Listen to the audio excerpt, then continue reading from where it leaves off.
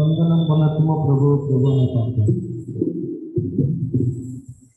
వందనం వనత్మ ప్రభు ప్రభు వందనం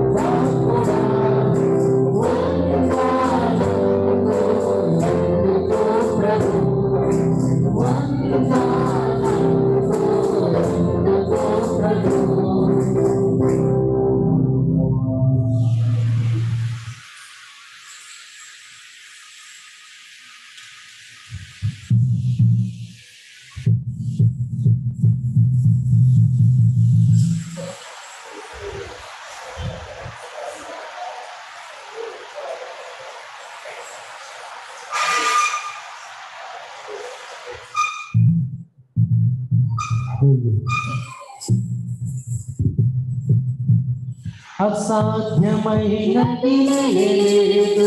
నన్ను బలపరచువాడు నాకు ఉండగా అసాధ్యమైనది లేదు. నన్ను బలపరచువాడు నాకు ఉండగా ఊహించలేని ఆశ్చర్య క్రియలకు నా దేవుడు నన్ను నడిపించును. ఊహించలేని yalla thodaa thee mudu nanna nadai penjudaa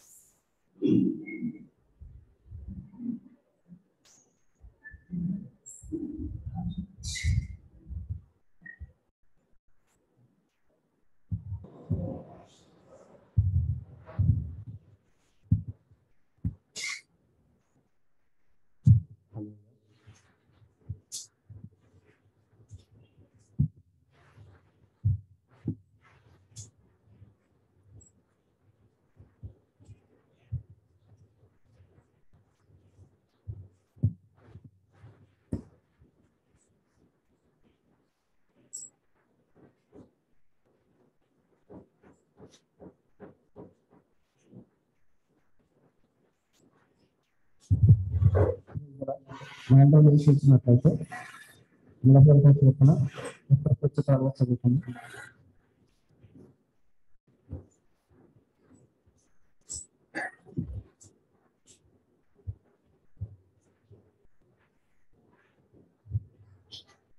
దేవులను కటాక్షించేవాడు ధన్యుడు ఆపత్కాలముందు యుహవ వారిని తప్పించను.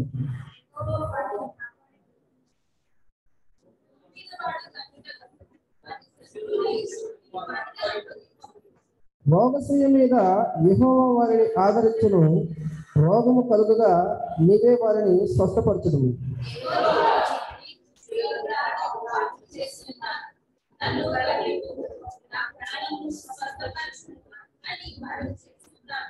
అయితే నా శత్రువులు నా విషయమై చెడ్డ మాటలాడుతున్నారు వాడు ఎప్పుడు చచ్చును? వాని పేరు ఎప్పుడు మాసిపోవను అని చెప్పుకొనుచున్నారు.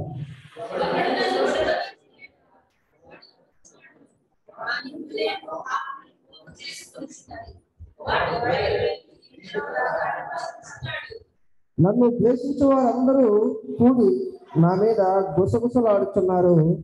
నశింప చేయగలనని వారు నాకు కీడు చేయని ఆలోచిస్తున్నారు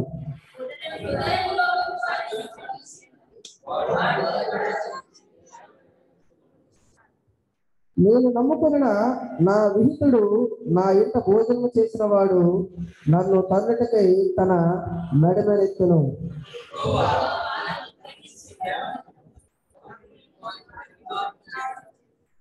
నా శత్రువు మీద ఉల్లసింపక ఉండట చూడగా నేను నీకు ఇష్టడునని తెలియరాయను ఆఖరి వచ్చిన తర్వాత ఇస్రాయేల్ దేవుడైన యెహోవా శాశ్వత కాలం నుండి శాశ్వత కాలం వరకు స్థుతించబడిన గాక. ఆమె ఆమె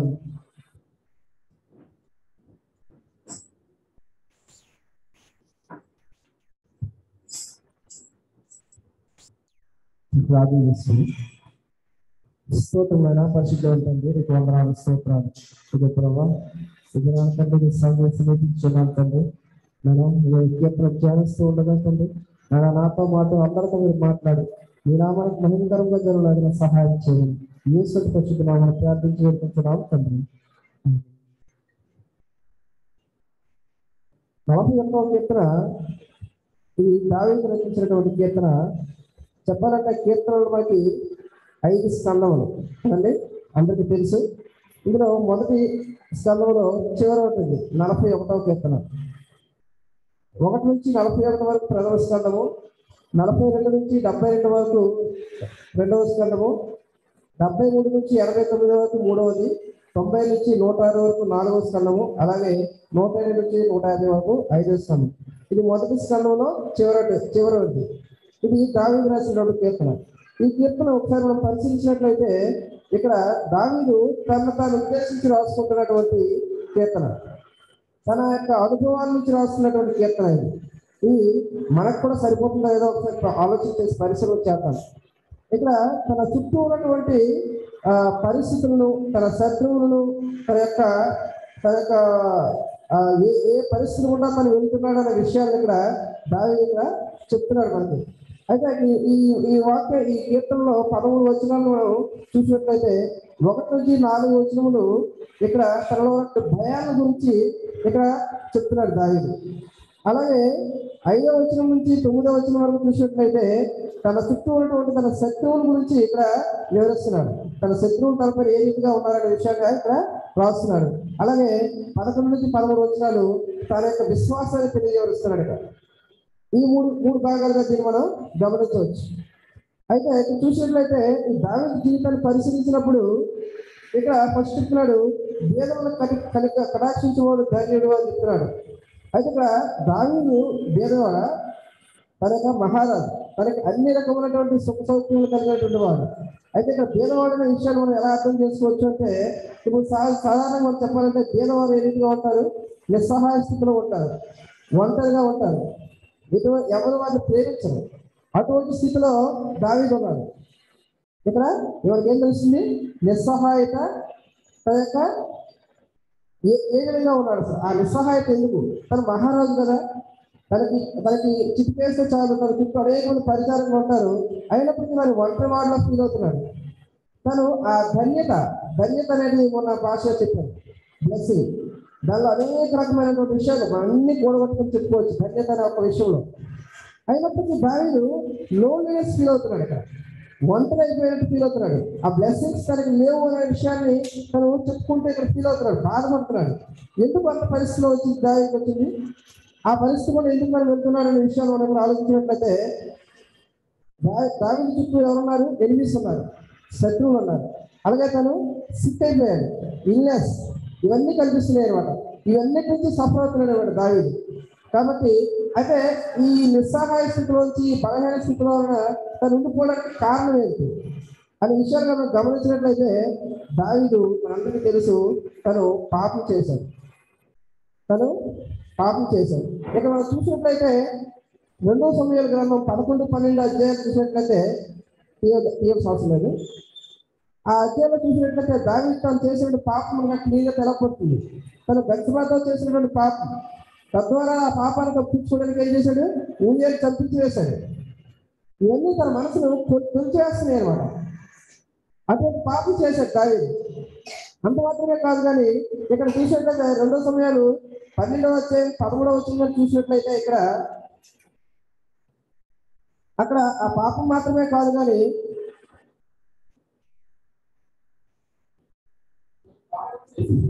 ఆ, అవును. పరిహరించను అక్కడ దావి పాపం చేసి ఎవరు చూడలేదులే అనుకుని అనుకున్నాడు కానీ అక్కడ నాతాల ప్రవర్తన వచ్చి మళ్ళీ తనకి ఆ విషయాన్ని తెలియపరిచినప్పుడు పశ్చాత్తాపడ్డాడు. పశ్చాత్తాపడి అయ్యో ఇప్పుడు నేను ఏ పరిస్థితి పరిస్థితి అని అడిగినప్పుడు అక్కడ అక్కడ నాతాలు ఏం చెప్తున్నాడు? నీకు నేను పాపం చేసేదనని దావీదు నాతానతో అనగా నాతాను నీవు చావకున్నట్లు యహోవా నీ పాపమును పరిహరించను. నువ్వు చావకున్నట్లు యహోవా నీ పాపాన్ని పరిహరించాడు. అంటే ఇప్పుడు నువ్వు చేసిన పాపానికి శిక్షణ చంపాడు కానీ యహోవా నువ్వు చావకుండా నేను సజీవ ఉంచాడు. ఆ ఉంచినంత మాత్రాన పూర్తిగా శిక్ష పోయిందనుకోవట్లేదు ఆ ఆ ఉంచిన తర్వాత ఏంటంటే ఆ పాపం యొక్క ఫలితం అనేది తన శత్రువుల నొప్పుల తను వెంటాడుతుంది. తనకి ఆ రోగముల వలె అని చెప్పాడు మరణశైలి వలె రోగ రోగం నిర్మాణం అని చెప్తున్నాడు నలభై ఒకటి కీర్తనలో మనం చదువుకున్నాం. ఆ రీతిగా వెంటాడుతున్నాడు అనమాట అర్థమైంది.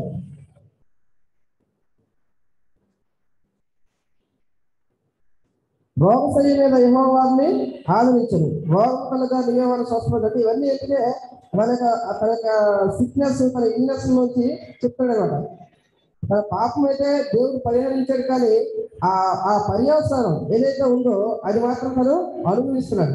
దాని నుంచి తను బయటకు రాలేకపోతున్నాడు. అంచేతన ఆ శత్రువు అనేటువంటి వాళ్ళు తన్ని చుట్టుముడుతున్నారు అంత మాత్రమే కాదు అక్కడ దావిది తను పాపం చేసినప్పుడు కూడా ఈ పాపాలన్నీ వల్ల ఇప్పుడు మనం తప్పు చేసామండి తప్పు చేసినప్పుడు అది మనం ఒప్పుకున్నా సరే మన చుట్టూ ఉన్న వాళ్ళు మనం ఒప్పుకోరు. నువ్వు తప్పు చేసావని ఏదో వేరే చూపిస్తా ఉంటారు మనం అయితే పశ్చాత్తాపడి మళ్ళా దాన్ని చేయకుండా ఉండాలని ప్రయత్నిస్తాం. కానీ ఈ లోకం సమాజం దాన్ని ఊపుతుంది ఖచ్చితంగా నువ్వు తప్పు చేసావు నేను వేరే చూపిస్తూ ఉంటుంది అనమాట అట్టిగా తన చుట్టూ ఉన్న వారిని తన్ని నిందిస్తున్నారు హింసిస్తున్నారు బాధపరుస్తున్నారు. ఆ సమయంలో అతను సరిగా రాజయ్యని కూడా అతను పరిపాలన కూడా చేయలేకపోతున్నాడు. అక్కడ చూసినట్లయితే ఇంకో విషయం అక్కడ రెండో సమయంలో పదమూడవ అధ్యాయంలో చూసినట్లయితే అక్కడ దాని కుమారుడైన అప్షాలోకి తన సహోదరి అయిన తామారు ఆ సామాన్ని తన తన సహోదరుడే అమ్మారు చెరిపేస్తాడు మనందరికీ తెలుసు ఆ విషయం చెప్పిన సందర్భం సమయం కాదు కానీ ఆ చెరిపేసినప్పుడు ఒక ప్లాన్ ప్రకారం అప్పుడు అంశాలకి తెలుస్తుంది విషయం. కానీ ఊరకుంటాడు దానిపైన పగ పెంచుకున్నా ఉంటాడు.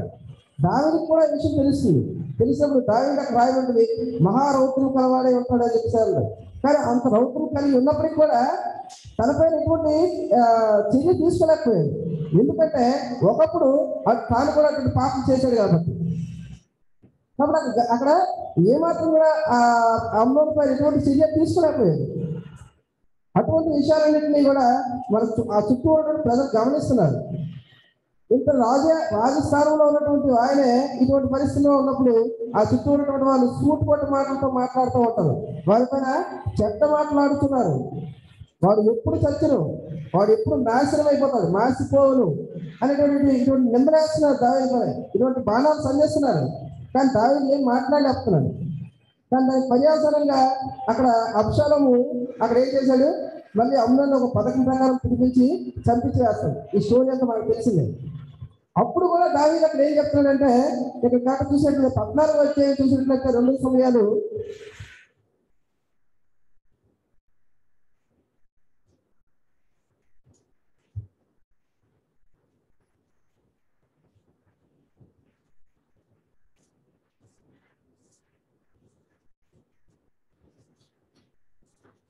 పద్నాలుగు అధ్యాయం చూసినట్లయితే స్టార్టింగ్లో చూడటం చూ- అక్కడ రాజు అప్షాలం మీద ప్రాణం పెట్టుకొని ఉన్నాడని. రాజు అబ్షాలం మీద ప్రాణం పెట్టుకొని ఉన్నాడని అక్కడ ఫుట్నోట్లో రాయబడి ఉన్నది. రాజు యొక్క మనస్సు అబ్షాలోములకు విరోధమని. గమనించారా? రాజు తప్పు చేసినటువంటి అమ్నాన్ని ఏమి చేయకపోగా అప్షాలం ఏం చేశాడు? తన చెల్లెల్ని చెరిపేసినట్టు కోపం తగల్చుకొని అప్సాలని ఆ అమ్ముని చంపించి వేసినప్పుడు అప్షా అప్పుడు రాజు ఊరు- ఊరుకుంటా లేదా? అయినప్పటికీ తను ఏంటి? అప్షాలం కూడా విరోధి ఉన్నాడు. విరోధి అయిపోయినట్టు మళ్ళీ. అంటే ఇక్కడ దావీదు సరిగా పరిపాలన కూడా చేయలేస్తున్నాడు ఆ పాపం అనేటువంటి తను వెంటాడుతుంది అన్నమాట అట్టి రీతిగా దావీదు తను ఆ- ఆ పరిస్థితి కూడా వెళ్తున్నాడు. ఆ పరిస్థితి కూడా వెళ్తున్నప్పుడు తన చుట్టూ ఉన్నటువంటి వాళ్ళు తన శత్రువులు అయిపోయారు అక్కడ వాళ్ళు ఏం చెప్తున్నారు? బయట వెళ్ళి వీధిలో దాన్ని పలుకుతున్నారు. తను ఏదైతే చేశాడో తను ఏ పరిస్థితులు అయితే ఎలా చూస్తున్నారు కదా ప్రజల చుట్టూ. వాటన్నింటినీ చెప్తూ చెప్పుకుంటున్నారు ఒకరు ఒకరు అక్కడ ఏం చెప్తున్నారు? నన్ను ద్వేషించే వారందరూ కూడి నా మీద గుసగుసలాడుతున్నారు. తనపైన అనేక రకాలుగా మాట్లాడుకుంటున్నారు. నశింప చేయవాలని వారు నాకు కీడు ఆలోచన చేస్తున్నారు. నన్ను నశింప చేయాలని ఆలోచించుకుంటున్నారు వాళ్ళందరూ కూడా శత్రువులు. కుటుంబ రోగము వారికి సంభవించి ఉన్నది. వారు ఈ పడక విడిచి తిరిగి లేవడని చెప్పుకొంటున్నారు. అడిగి ఇంకంతా అయిపోయింది. ఇంకా సరే ఆ చాప్టర్ క్లోజ్ వారికి కావాల్సిన శాస్త్ర జరిగింది. మంచి రోగం వచ్చింది. చచ్చిపోతాడు. అది కూడా అన్నది ఇంటి నీటిగా తాగి హింసిస్తున్నారు అనమాట అక్కడ ఇంకా ఇంకా తొమ్మిది చూసినట్లే మీరు నమ్ముకున్న నా వీధులు నా ఇంట భోజనం చేసిన వాడు నన్ను తన్నుటకై తన మెడవెనెత్తెను అక్కడ విహితుడు అనే పదానికి ఇంగ్లీష్ వచ్చారు చక్కగా ఉంది. My own familiar friend my own familiar friend ఎంతో కావాల్సిన వాడు ఎంతో ఆప్యాయత. ఒకే ఇంట్లో ఒకే కంచంలో పూజ చేసేంత ఆప్యాయత వాళ్ళిద్దరు బంధం. అయినప్పటికీ తనంట తన పైన నడివి తనకు విరోధంగా ఉన్నాడంట. ఎంత స్థితికి వెళ్ళిపోయాడో దావించుకోండి ఎటువంటి పరిస్థితి వెళ్ళిపోయాడో దావించుకోండి కారణం తను చేసినటువంటి ఒక పాపం. ఆ ఒక్క పాపను తను గంట వెంబడిస్తుంది. రోగశైలిగా చేస్తుంది. తన చుట్టూ ఉన్న వాళ్ళు నిందిస్తున్నారు. తన చుట్టూ ఉన్న వాళ్ళు హింసిస్తున్నారు. మనం కూడా కొన్ని సందర్భాల్లో ఈ చిన్న పాపాలు తప్పులు నేరాలు చేసి ఉండొచ్చు. మనం కూడా దేవుని వైపు మళ్ళీ తిరుగుతాం. మనకు మనమైతే అనుకుంటాం నేను పశ్చాత్తాపడ్డాను మళ్ళీ ఇటువంటి ఎప్పుడు చేసుకోను కానీ మన లోకం ఉంటుంది మనల్ని విడిచిపెట్టదు. మనల్ని నిందిస్తూ ఉంటుంది. సూటు పెట్టి మాటలతో మళ్ళీ మనల్ని గమనించాల్సి అయితే ఇటువంటి పరిస్థితుల్లో దావీదు ఏం చేశాడు? ఇటువంటి పరిస్థితుల్లో ఏం చేశాడంటే దావీదు దేవుని పైన విశ్వాసం ఉంచాడు. తన యొక్క పరిస్థితుల వైపు తను చూడట్లేదు కానీ ఈ పరిస్థితులను మార్చగల దేవుడు వైపు చూస్తున్నాడు. తనకు తెలుసు దేవుడు ఎంతటి సర్వశక్తివంతుడు ఎంతటి దయగలవాడు ఎంతటి కనికరం గలవాడు అనేది కాబట్టి ఈ పరిస్థితులన్నిటి నుంచి పక్కన పెట్టి తన దేవుని వైపు మాత్రమే దావీదు చూడగలుగుతున్నాడు అదే ఇక్కడ చూడండి ఇక్కడ తన పశ్చాత్తాప పడుతున్నాడు ఇక్కడ. ఏమి? నాలుగో వచ్చిన చూసినట్లయితే యువవ నీ దృష్టి ఎదుట నేను పాపం చేసి ఉన్నాను నన్ను కరుణింపు నా ప్రేమను స్వస్థపరచుము అని మనవి చేసి ఉన్నాడు. నేను తప్పు చేశానయ్యా అని ఒబిడియన్స్ సరెండర్ అయిపోయాడు దేవుడికి. ఎందుకంటే మనకు తెలుసు సామెత విగ్రహం ఇరవై ఎనిమిది అధ్యాయం పదమూడు వచ్చంలో చూసినట్లయితే అతిక్రమం దాచిపెట్టేవాడు ఒత్తిడి కానీ తను ఒప్పుకునేవాడు కనికరం పొందుతాడు రాయలేదు ఆ విషయం దావిడికి తెలుసు. ఏ పరిస్థితిలో విపత్తుగల సమర్థుడు నా దేవుడికి సంగతి దావిడికి తెలుసు కాబట్టి ఆ ఏ పరిస్థితి ఉన్నప్పటికీ ఈ చుట్టూ ఒక విధంగా మానవ రూపంలో ఉన్నట్టు మనమైతే ఈ ఇటువంటి సూటుపడి మాటలు భరించలేక చనిపోదాం అనేటువంటి స్థాయి కూడా వెళ్ళొచ్చు నీకెందుకు నాకు నా చుట్టూ ఉన్న నా సొంత వీధి నా స్నేహితులే నన్ను. ఏ నా పైకి వస్తున్నారు? నా నా చుట్టూ ఉన్న నా కుటుంబంలో నా తల్లిదండ్రులు నా కుటుంబ సభ్యులే నన్ను ఎంతగా హింసిస్తున్నారు ఇబ్బంది పెడుతున్నారు. ఇంకా నేను రాకుండా లోకంలో ఉన్న ఉపయోగమే ఉంది అని మనమైతే ఈ సూచన చేసుకోవచ్చు కానీ దావిది మాత్రం ఆ తప్పు చేయలేదు. ఎందుకంటే తన దేవుడు ఎంత సమర్థవంతుడో ఎంత సర్వశక్తివంతుడో ఏ పరిస్థితి నుంచైనా విడిపించగల సమర్థుడో దావిడికి తెలుసు కనుక ఆయన ఆ పరిస్థితిలో దేవుడు వైపు మనం కూడా ఈ అతి స్థితిలో ఉండాలని కోరుకుంటున్నాం. మన చుట్టూ కూడా ఇటువంటి చాలా సమూహాలు అంటే వెంబడిస్తూ ఉంటాయి. మనం ఇబ్బంది పెడుతూ ఉంటాయి. మనం పనిచేసే ప్రదేశాల్లో కానీ మన ఇంట్లో కానీ మన పొరుగు వారు కానీ ఎక్కడైనా సరే మనం ఇబ్బంది పెడుతూ ఉంటారు ఎందుకంటే మన దేవుని బిడ్డగా ఉన్నప్పుడు ఖచ్చితంగా ఇటువంటి శోధనలు వస్తాయి. శోధన వచ్చినంత మాత్రాన మనం ఈ పరిస్థితిలో కూడా నిరాశపడిపోయి డిప్రెషన్కి వెళ్ళిపోయి ఏదో చేసేసుకున్నాం అనేటువంటి పరిస్థితి ఇప్పుడు మనం చేసుకోకూడదు ఎందుకంటే మన దేవుడు సర్వశక్తివంతుడైనటువంటి దేవుడు. ఆయన సన్నిధి మనం సమీపించినప్పుడు ఖచ్చితంగా మన ఆయన మేలు మాత్రమే చేస్తాడు. ఏ ఒక్కరిని త్రోసివేసే దేవుడు కాదు ఆయన. కాబట్టి దావిను తన పరిస్థితి వైపు చూడకుండా తన పరిస్థితిని మార్చగల సమర్థుడైనటువంటి దేవుడు వైపు చూడగలిగాడు. కాబట్టి అక్కడ దేవుడు చెప్తున్నాడు నా శత్రువు నా మీద ఉల్లసింపక ఉండుట చూడగా నేను నీకు ఇష్టడని తెలియరాయను ఇక ఆ శత్రువులు ఇక ఇంతవరకు ఇంతవరకు ఎందుకంటే తను బాధ పెట్టారో ఇక సడన్గా మౌనం అయిపోయారంట. తను మౌనం అయిపోయారు. ఇక ఆయన జోలికి రావట్లేదు. అప్పుడు దావి చెప్తున్నాడు? వారు ఎప్పుడు మౌనం అయిపోయారంటే నేను నీకు ఇష్టం నేను నీకు ఇష్టం కాబట్టి వాళ్ళు మౌనం అయిపోయాయని చెప్తాడు అంత మాత్రమే కాదు నా యథార్థతను బట్టి నువ్వు నన్ను ఉత్తరించున్నావు ఇక్కడ చిన్న డౌట్ రావచ్చు. మళ్ళీ యథార్థత అనే ఇంటిగ్రిటీ గురించి మాట్లాడుతున్నాడు ఏంటి అని.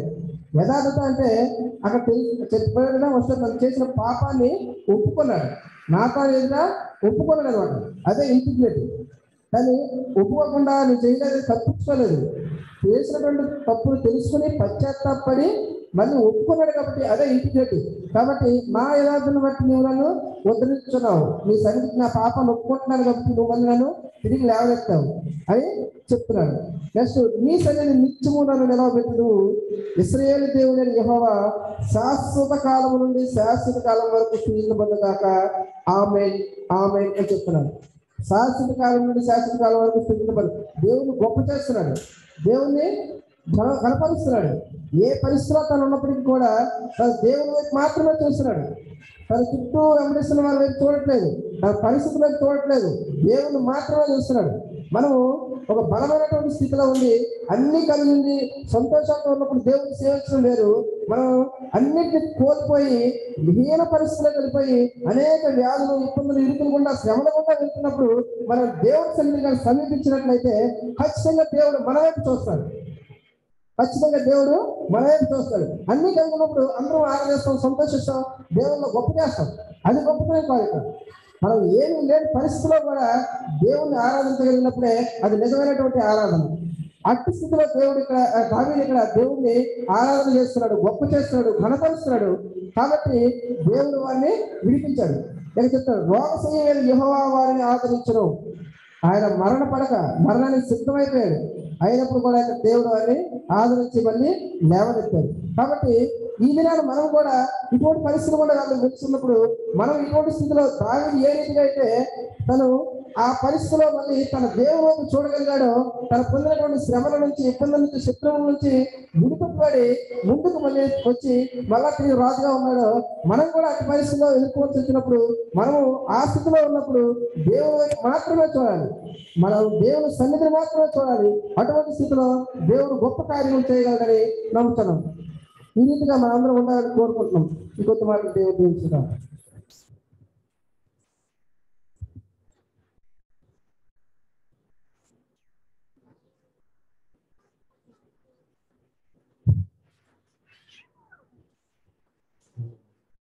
మరి మనం అందరం ఇచ్చినట్లయితే కొంచెం ఆరాధన చేస్తున్నామండి మరి శుభవారం కాబట్టి మొదటి పూర్వకంగా దేవుని ఆరాధించడం శుద్ధిద్దాం కొనియాడతాం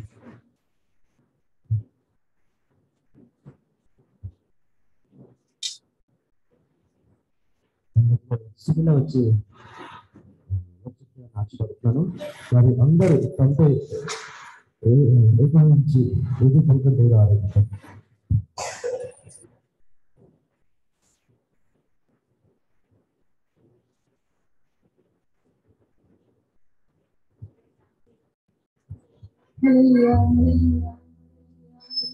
స్తోత్రం తండ్రి నాయనా దేవా.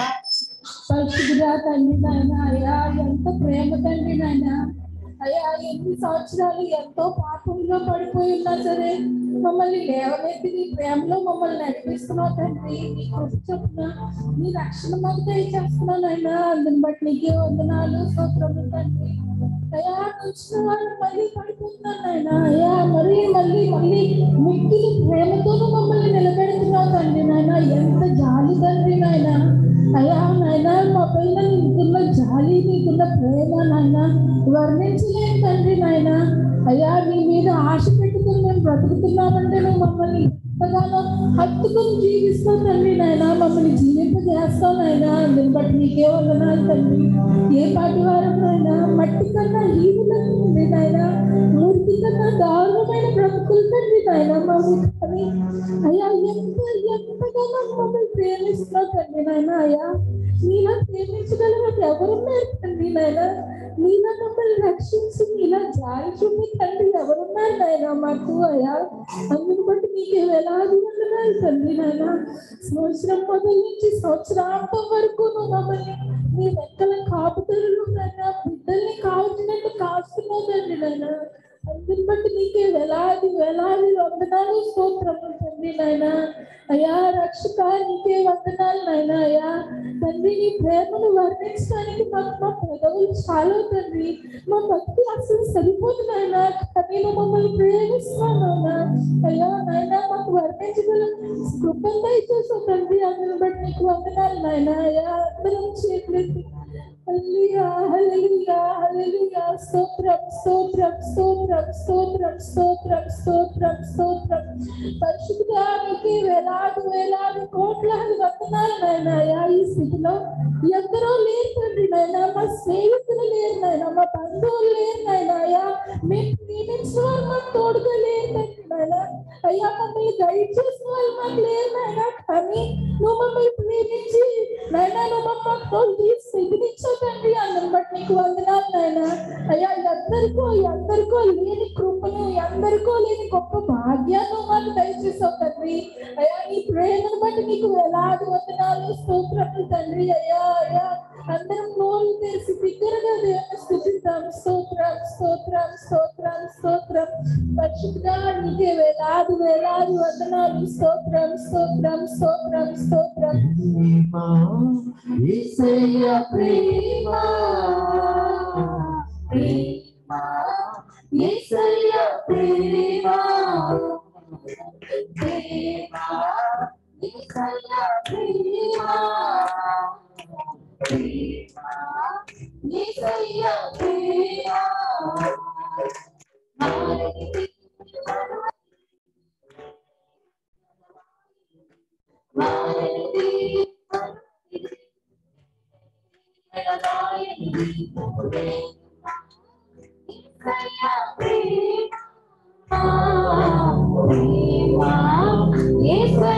ప్రేమ నన్ను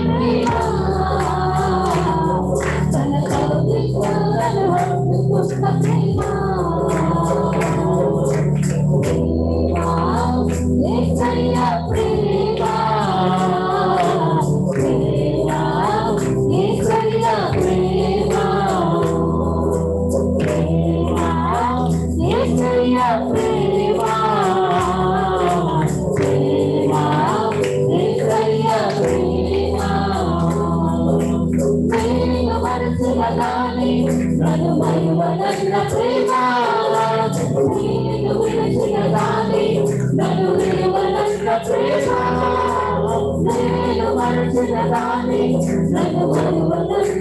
you.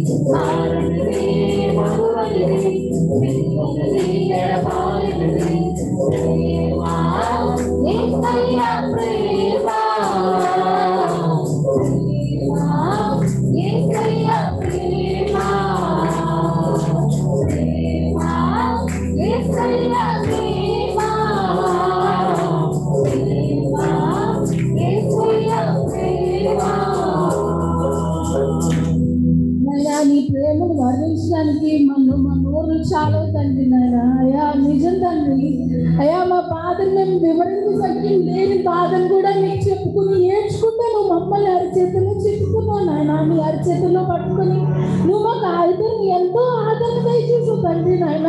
నీ ప్రేమను బట్టి నీ ఆదరణ బట్టి నీకే వందనాలు స్తోత్రము తండ్రి నాయన. అయ్యా మేము వేస్తున్న ప్రతి అడుగులోనూ నువ్వు మాకు తోడుగా ఉంటున్నాం తండ్రి నాయన. అందును బట్టి నీకు వందనాలు తండ్రి నాయన.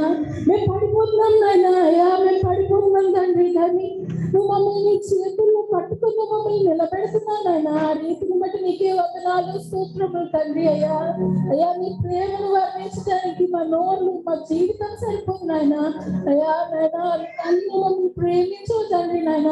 నీ చేతుల్లో పట్టుకుని మమ్మల్ని నడిపిస్తున్నా ఆయన అందును బట్టి నీకే వేలాది వందనాలు. స్తోత్రము స్తోత్రం తండ్రి అయ్యా. నాయన అయ్యా దిక్కులేని దరిద్రం నాయన తండ్రి నాయన. అసలు ఎందుకు పనికిరాని జీవితాలు తండ్రి నాయన? కానీ మమ్మల్ని మమ్మల్ని ప్రేమతో నాయన నీ జాలితో నీ చూపుతో నువ్వు మమ్మల్ని చూస్తూ నువ్వు మమ్మల్ని ప్రేమిస్తూ మమ్మల్ని నడిపిస్తున్నందుకు నీకు వందనాలు తండ్రి నాయనాయా ఎంత ప్రేమ తండ్రి నాయనాయా వర్ణించగలవా నాయన? వర్ణించలేదు తండ్రి నాయనాయా అయ్యా మా జీవితాలు సరిపో నాయనాయా నాయనాయా నీకు వందనాలు స్తోత్రములు తండ్రి నాయన. నీకు స్థుతించడం తప్ప మేము చేసి ఏది లేదు తండ్రి నాయనాయా అయ్యా వేలాది వేలాది వందనాలు స్తోత్రములు తండ్రి దేవా రక్ష నీకే వందనాలు నాయనా. అయ్యా నువ్వు మమ్మల్ని ఇక్కడ సజీవుల లెక్కలో నుంచున్నావు నుంచో పెట్టావు తండ్రి నాయన. నువ్వు మాతో పాటు ఉన్నావు నాయన. మాకు ధైర్యం ఇస్తున్నావు తండ్రి ఆదరణ ఇస్తున్నావు నాయన. నేనున్నాను నువ్వు భయపడుతున్నావు తండ్రి నాయన. అందుకు బట్టి నీకు వందనాలు నాయన. అయ్యా అనారోగ్య సమస్యల్లో ఉన్నప్పుడు మాకు ఆరోగ్యం దయచేసావు నాయన. అయ్యా దిక్కులేనితో ఏం చేయాలో అర్థం కాని స్థితిలో నేను ఉన్నాను. నువ్వు ఎందుకు భయపడుతున్నావు? మమ్మల్ని మమ్మల్ని నడిపిస్తున్నావు నాయన. అందుకు బట్టి నీకే వందనాలు నాయన. ప్రతి క్షణంలో మా కోసం ఆలోచిస్తున్నావు తండ్రి నాయన. మీరు బట్టి నీకే వందనాలు స్తోత్రములు తండ్రి నాయన. అయ్యా తండ్రి నీకే వేలాది వేలాది వందనాలు నాయన. ఎందుకో ఎంతో మందికి ఎందరికో లేని భాగ్యాన్ని మాకు మాకు దయచేసే తండ్రి. ఎందుకో నువ్వు మాకు ఇంతగా ప్రేమిస్తున్నావు నాయన. అందుకు ప్రేమను బట్టి నీకు వందనాలు తండ్రి నాయన. అయ్యా మేము ఎందుకు ఆలోచించిన కూడా చేయలేని స్థితిలో ఉన్నాం తండ్రి నాయన.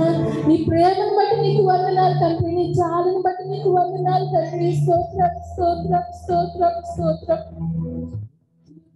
సింహాసనముపై సీనుడవైన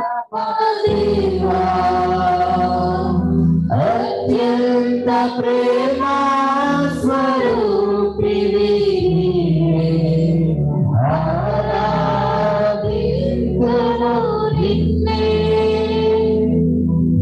అత్యంత ప్రేమ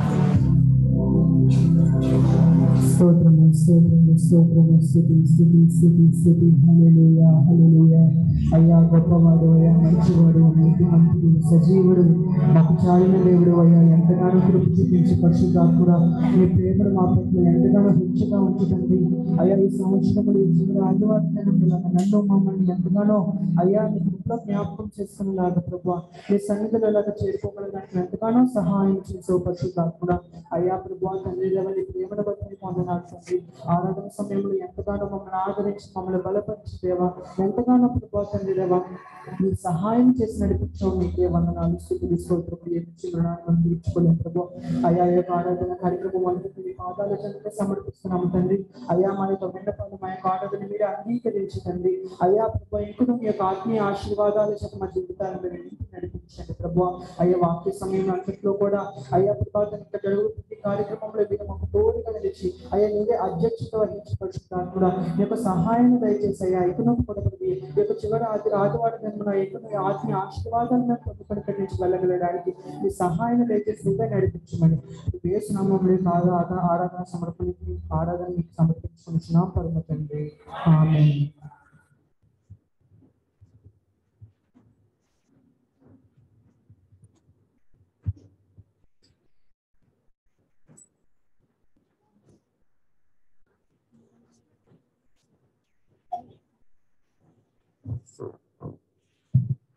దేవుని స్తోత్రం హల్లెలూయా పరిశుద్ధ శుభనాం బట్టి అందరికి వందనాలు. ఈ ఆఖరి ఆదివారం కదా? ఎంత బాగా ఒప్పుకున్నారు. అంటే మీ మనసులో ఒక మాట ఉంది నా మనసులో ఒక మాట. అంటే నేను పలికిన మాట సగం మీ మనసులో సగం ఉంది. ఇది ఆఖరి ఆదివారం కదా? అందుసరికి ఈ అవసరం అంటే ఈ సంవత్సరానికి అనుకుంది కదా? నా నా మనసులో చాలా ఉంటాయి. నా జీవితానికి నా కావచ్చు. కదండి? దయతరా ప్రభు దగ్గర వెళ్ళిపోతే కదండి? నా జీవితానికి ఆకలి కావచ్చు. ఈ సంవత్సరానికి అది ఆకరాదు చూసారా? మాటల్లో కృష్ణ ఉంటాయి. నోరు పరికినంత నిజం కావచ్చు మనసులో ఉంది. మనసులో ఆలోచన బయట పలికింది రెండు కలిస్తేనే అసలు సత్యం తెలుస్తుంది. కాబట్టి బయటకు వెళ్ళమని మాటని నమ్మకండి మనసులో పడుతుంటాయి నేనైతే రెండు అనుకుంటాను. నా భార్య ఒప్పుకోకపోవచ్చు నా కొడుకు నా కూతురు ఒప్పుకోకపోవచ్చు నా అల్లుడు ఒప్పుకోకపోవచ్చు మీలో చాలా మంది ఒప్పుకోకపోవచ్చు. కానీ నేను రెడీగా ఉన్నాను ఇదే నా జీవితానికి ఆఖరాలు అనుకుంటే రెడీగా ఉన్నాను Are దేవుడు ready? దేవుడితో ఇంకా సమాధానం పడలేదు నేను. నేను ఇంకా చాలా విషయం సరి చేసుకోవాలి.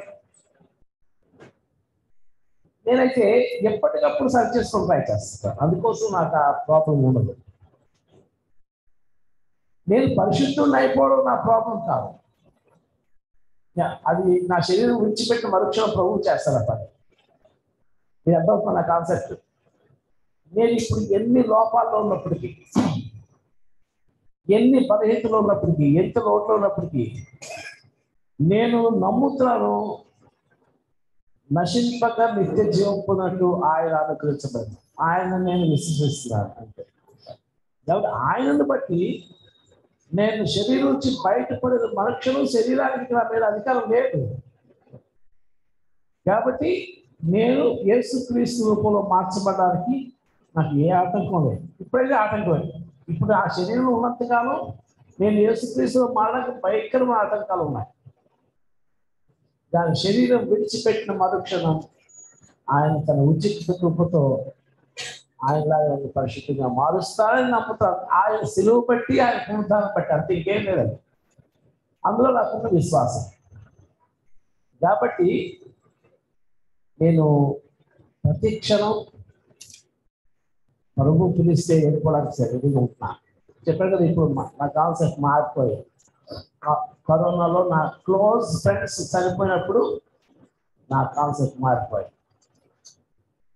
నాకంటే అద్భుతంగా పరిచయం చేస్తున్నవాడు నాకంటే అద్భుతంగా ప్రభువులో ఎదుగుతున్నవాడు.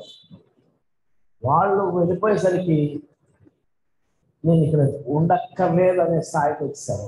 ఎందుకంటే దేవుడు ఎవరినైనా వాడుకుంటాడు? రామకృష్ణ ఎంత అద్భుతంగా వాడబడుతున్నారు ఈరోజు నేను చాలా సంతోషిస్తున్నాను అలా ఎవరైనా దేవుడు వాడుకుంటాడు. ఒక సీట్ ఖాళీ అయితే కూడా వస్తాడు దేవుడు. కనుక మనం అందరూ రెడీగా ఉంటాం. ప్రతి ఒక్కరు రెడీగా ఉంటాం. మరణానికి భయపడద్దు. మరణం అంటే ప్రమోషన్ మన వెనక ఉన్న వాళ్ళు పాలసీ ఆలోచించద్దు. నేను వెళ్ళిపోతున్నా కొడుకు పెళ్ళి ఎవరు చేస్తాడు ఇంకా నాకు మనవలు మనవరాళ్ళు లేరు. ఇవన్నీ ఆలోచిస్తుంది ప్రభు విషయం వచ్చేసరికి అన్ని పక్కన పెట్టేద్దాం. ప్రభు మనం అంతే. నేను మిమ్మల్ని నేను వైరాగ్యంలో ఇది వైరాగ్యం కదా. ఒక విధంగా లోపం పెట్టే పేరు వైరాగ్యం ఇది. రాజులు తమ కొడుకులకు సింహాసనం అప్పు చెప్పేటప్పుడు వాళ్ళు వైరాగ్యంలో వెళ్ళిపోతారు తపస్సు చేసి వెళ్ళిపోతారు అయితే ఇది ఆత్మీయ సత్యం అంటే. చేదు సత్యం. మరి పిల్లల పిల్లలు నువ్వు చూసిన వాగ్దానం వేసి నా ద్వారా రక్షించబడిన వారు వారి ద్వారా రక్షించబడిన వారు నా పిల్లల పిల్లలే. స్పిరిచువల్గా తీసుకుంటాను నేను. అదే ఫిజికల్గా అసలు ఆ వాగ్దానాన్ని ఫిజికల్ లైఫ్ కోసమే. ఒకవేళ ఫిజికల్ లైఫ్లో అవి ఒకవేళ మనకు నెరవేరకపోతే స్పిరిచువల్ లైఫ్లోనే నెరవేరుతాయి. అది ఇంకా ఎక్కువ కదా. కాబట్టి ఇదే నీకు ఆఖరి ఆధారం అయితే. రెండు వేల ఇరవై ఒకటి కోసం మాట్లాడలేదు నీ జీవితాన్ని నీ ఆయుష్. ఇదే ఆఖరి ఆధారం అయితే. ఆయన సిలువ మీద మాత్రమే నమ్మకం ఉంచు నీ మీద కాదు నీ ఆధ్యాత్మిక జీవితం మీద కాదు నీ విల్ పవర్ మీద కాదు నీ సెల్ఫ్ విల్ మీద కాదు నీ స్పిరిచువల్ డెప్త్ మీద కాదు. యేసు నీ కోసం చనిపోయాడు యేసు నీ కోసం బ్రతికాడు. దాట్స్ ఇట్ అంతే. అంత మించి ఏం లేదు. నువ్వు నరకానికి వెళ్ళకుండా పదవ రాజించడానికి అది నమ్ము. దేవుడు తప్పకుండా నువ్వు నమ్మినప్పుడు రొట్టెలు ఇస్తావంటే రొట్టె కోసం ఎదురు చూసినప్పుడు రాత్రి ఇచ్చే దేవుడు కాదు కదా. ఎంత సింపుల్ ఒప్పాను కదా మీ పిల్లలు మిమ్మల్ని రొట్టెలు అడిగితే మీరు రాత్రి ఇవ్వరు కదా. చేపను అడిగితే పామును ఇవ్వరు కదా. గుడ్డును అడిగితే పీట కదా. మీరు చెడ్డవారయ్యుండి మీ పిల్లలకు మంచి ఈవులు ఎరిగి ఉండగా మీ పరలోకపు తండ్రి మరి నిశ్చయంగా మీకు పరిశుద్ధాత్మను పరిశుద్ధాత్మతో పాటు సమస్తం నాకు తెలుసు ప్రభు నీ రాజ్యం నాకు కావాలి. అంటే నరకానికి ఎందుకంటే వస్తాడు పరలోక రాజ్యం కోసం మీరు ఆశపడుతూ ప్రతి వారం వస్తున్నారు ప్రతి పాట పాడుతున్నారు ప్రతి కానుక వేస్తున్నారు ప్రతిసారి ఎక్కడ అవకాశం కానీ సాక్షి చెప్తున్నారు. దేనికి ఇదంతా రాజ్యం కోసం ఆశపడే కదా? నరకానికి నిత్య నరకానికి భయపడే కదా? అడుగుని మీకు ఇవ్వబడు మీరు పరలోక అడిగినప్పుడు నరకం ఇస్తాడు ఆయన సన్నిధి కోరుకునేటప్పుడు సాతాన సన్నిధి ఎందుకు అప్పచెప్తాడు? సింపుల్. ఆయన మాట చాలా నమ్మదగిన కాబట్టి భయపడకండి. మరణానికి అస్సలు భయపడకండి. అలాగని మరణాన్ని కోరుకోకండి చచ్చిపోతే బాగుండు అని కోరుకోకండి ఎందుకంటే అది బాగుండో బాగుండదో ఆ దేవుడు తెలుసు. నేను చచ్చిపోతే బాగుండు అనుకునే. నేను బతికితేనే బాగుంటున్నా. మనం బతకాలి నేను బతికితేనే నాకు ఇష్టం. కానీ ఆయన పిలిస్తే సారీ ప్రభా కొంచెం ఆగునైనా అని మాత్రం అన్నమాట దయచేసి ఎవరు కూడా భయపడుతూ బ్రతకాలి ధైర్యంగా బ్రతకాలి మనం అందరం కూడా రెండు వేల ఇరవై రెండు సంవత్సరం చూడబోతున్నాం. కంగారు పడకండి. కొత్త సంవత్సరంలో అది పెడతాం. ఇరవై రెండు ఇరవై రెండు వేల ఇరవై ఒకటిలో చాలా కష్టాలు శ్రమలు అన్ని మిక్స్డ్ ఫీలింగ్స్ ఆనందాలు సంతోషాలన్నీ అన్ని అనారోగ్యం ఆరోగ్యాన్ని వచ్చాయి. నువ్వు ఎవరైతే ఏమవుతుంది మనకేం తెలుసు? కానీ అన్నీ తెలిసిన దేవుడు మనకు ఉన్నాడు అంతే. హల్లెలూయా అదే అన్నీ తెలిసిన దేవుడు మనకు ఉన్నాడు. ఆయన మీద నమ్మకం ఉంచుతాం అంతే. నమ్మకం ఉంచి ఆయన సేవిద్దాం. ఓకే నేను ముందే మీకు చెప్పాను. ముప్పై ఒకటో తారీఖు రాత్రి ప్రతి ఫ్యామిలీ ఫ్యామిలీలో ఉన్న ప్రతి మెంబర్ సాక్షి చెప్పాలి. ప్రతి ఒక్కరి రాస్తుందండి కొన్ని పాయింట్స్ రాస్తుందండి. రెండు వేల ఇరవై ఒకటిలో చెప్పొచ్చు రెండు వేల ఇరవై ఒకటి వరకు చేసిన చెప్పని చెప్పొచ్చు ఏదైనా కానీ షార్ట్ కట్ చేస్తూ మంచిగా కొద్ది టైంలో ముగించలేదు అందరికి టైం ఉండదు కదా. మనం నైన్ ఓ క్లాక్ స్టార్ట్ చేద్దాం. నైన్ కల్లా వచ్చేయండి. నైన్ థర్టీ వరకు పాట పాడదాం. నైన్ థర్టీ నుండి సాక్ష్యాలు మొదలు పెడదాం ఎప్పటి వరకు అంటే పదకొండు గంటల యాభై ఎనిమిది నిమిషాల వరకు. ఆ రెండు నిమిషాల ముందు కొంత మనం ఆరాధనకు వెళ్దాం. పన్నెండు గంటలకు మనం కొత్త సంవత్సరం ప్రవేశిస్తాం ప్రవేశిస్తాం. మనం అందరం విష్ చేసుకుంటాం. వర్తమానం విందాం. ఆ తర్వాత క్రిస్మస్ అవ్వడం అయితే ఇంకా కొన్ని సాక్ష్యాలు మిగిలిపోతాయి కదా. వాళ్ళు ఒకటో తారీఖు ఉదయం చెప్పడానికి సిద్ధపడారు. ఒకవేళ ఇక్కడ టైం లేకపోతే అంటే థర్టీ ఫస్ట్ నైట్ టైం లేకపోతే ఒకటో తారీఖు ఆరాధనలో నూతన సంవత్సర ఆరాధనలో సాక్ష్యాలు చెప్పడానికి సిద్ధపడారు. మళ్ళీ నేను థర్టీ ఫస్ట్ నైట్ మీకు కవర్స్ ఇస్తాను.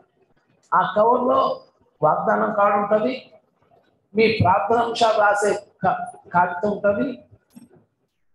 ఆ రెండు మీరు తీసుకెళ్తారు కవర్ వాగ్దానం కార్డు తీసుకుంటారు. ప్రార్థనాంశాల కాగితం మీద మీ ప్రార్థనాంశ రాయండి. ఈసారి నేను పాయింట్ యాడ్ చేస్తాను. థ్యాంక్స్ గివింగ్ పాయింట్స్ కూడా పెడతాను. అంటే గత సంవత్సరం వరకు దేవుడు నా జీవితంలో మా కుటుంబంలో చేసిన మేళ్ళు అని కొన్ని లైన్స్ ఇస్తాను అందులో మీ థ్యాంక్స్ గివింగ్ రాయండి ఆరోగ్య విషయంలో చదువు విషయంలో ఆధ్యాత్మిక జీవిత విషయంలో ఏదైనా. తర్వాత మా ప్రార్థన అంశములు అని మళ్ళీ రాయాలి. రెండు రకాలు. అవన్నీ ఒక బుక్గా కొడతాం. దాన్ని రెండు మూడు కాపీస్ చేసి ఎవరెవరు ప్రార్థన చేస్తున్నారు రెగ్యులర్గా వాళ్ళకి ఇస్తాను సార్.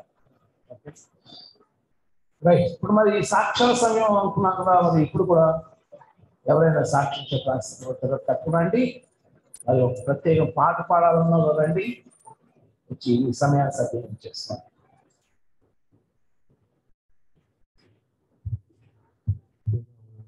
వందనాలు నేను చాలా హ్యాపీగా ఉన్నారు అంత జరిగింది అనుకున్నాను చివరిలో నేను గెలిచిన అక్కడ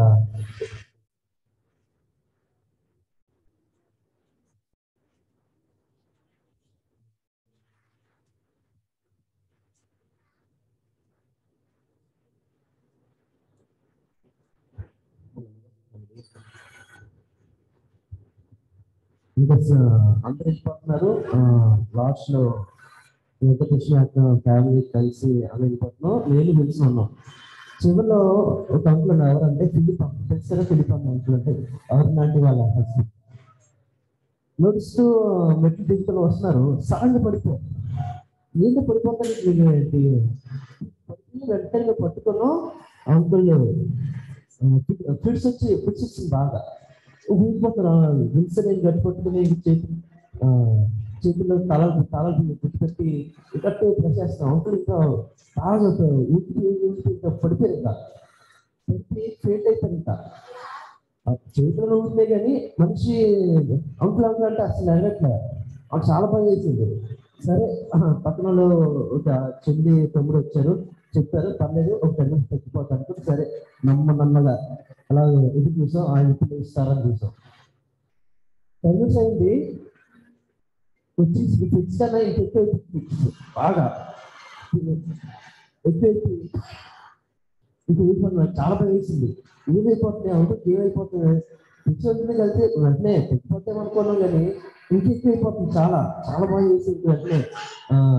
తెలిసినేమో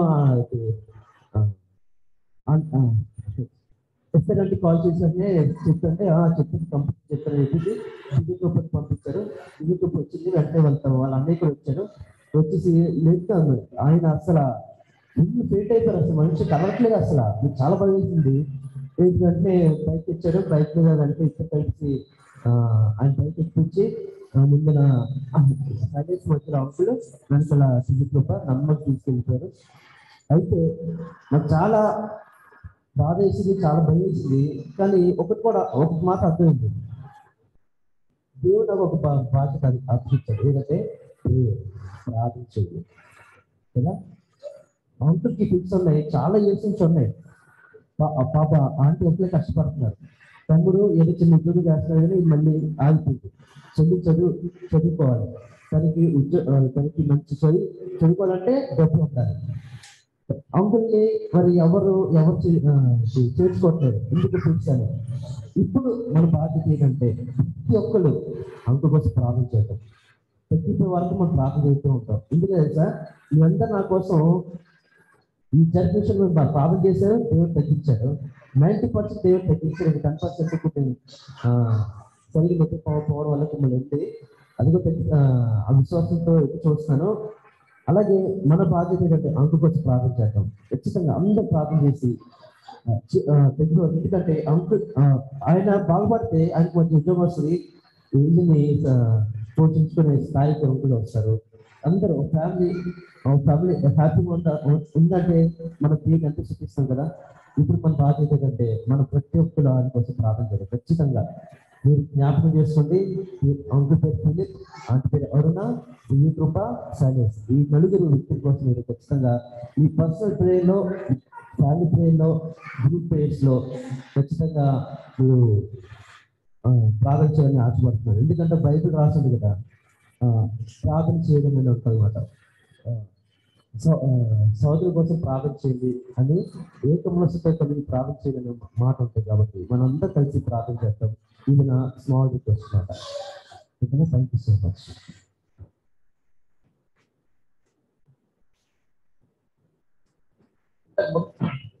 ముందు కూడా మనం చాలాసార్లు చెప్పాను.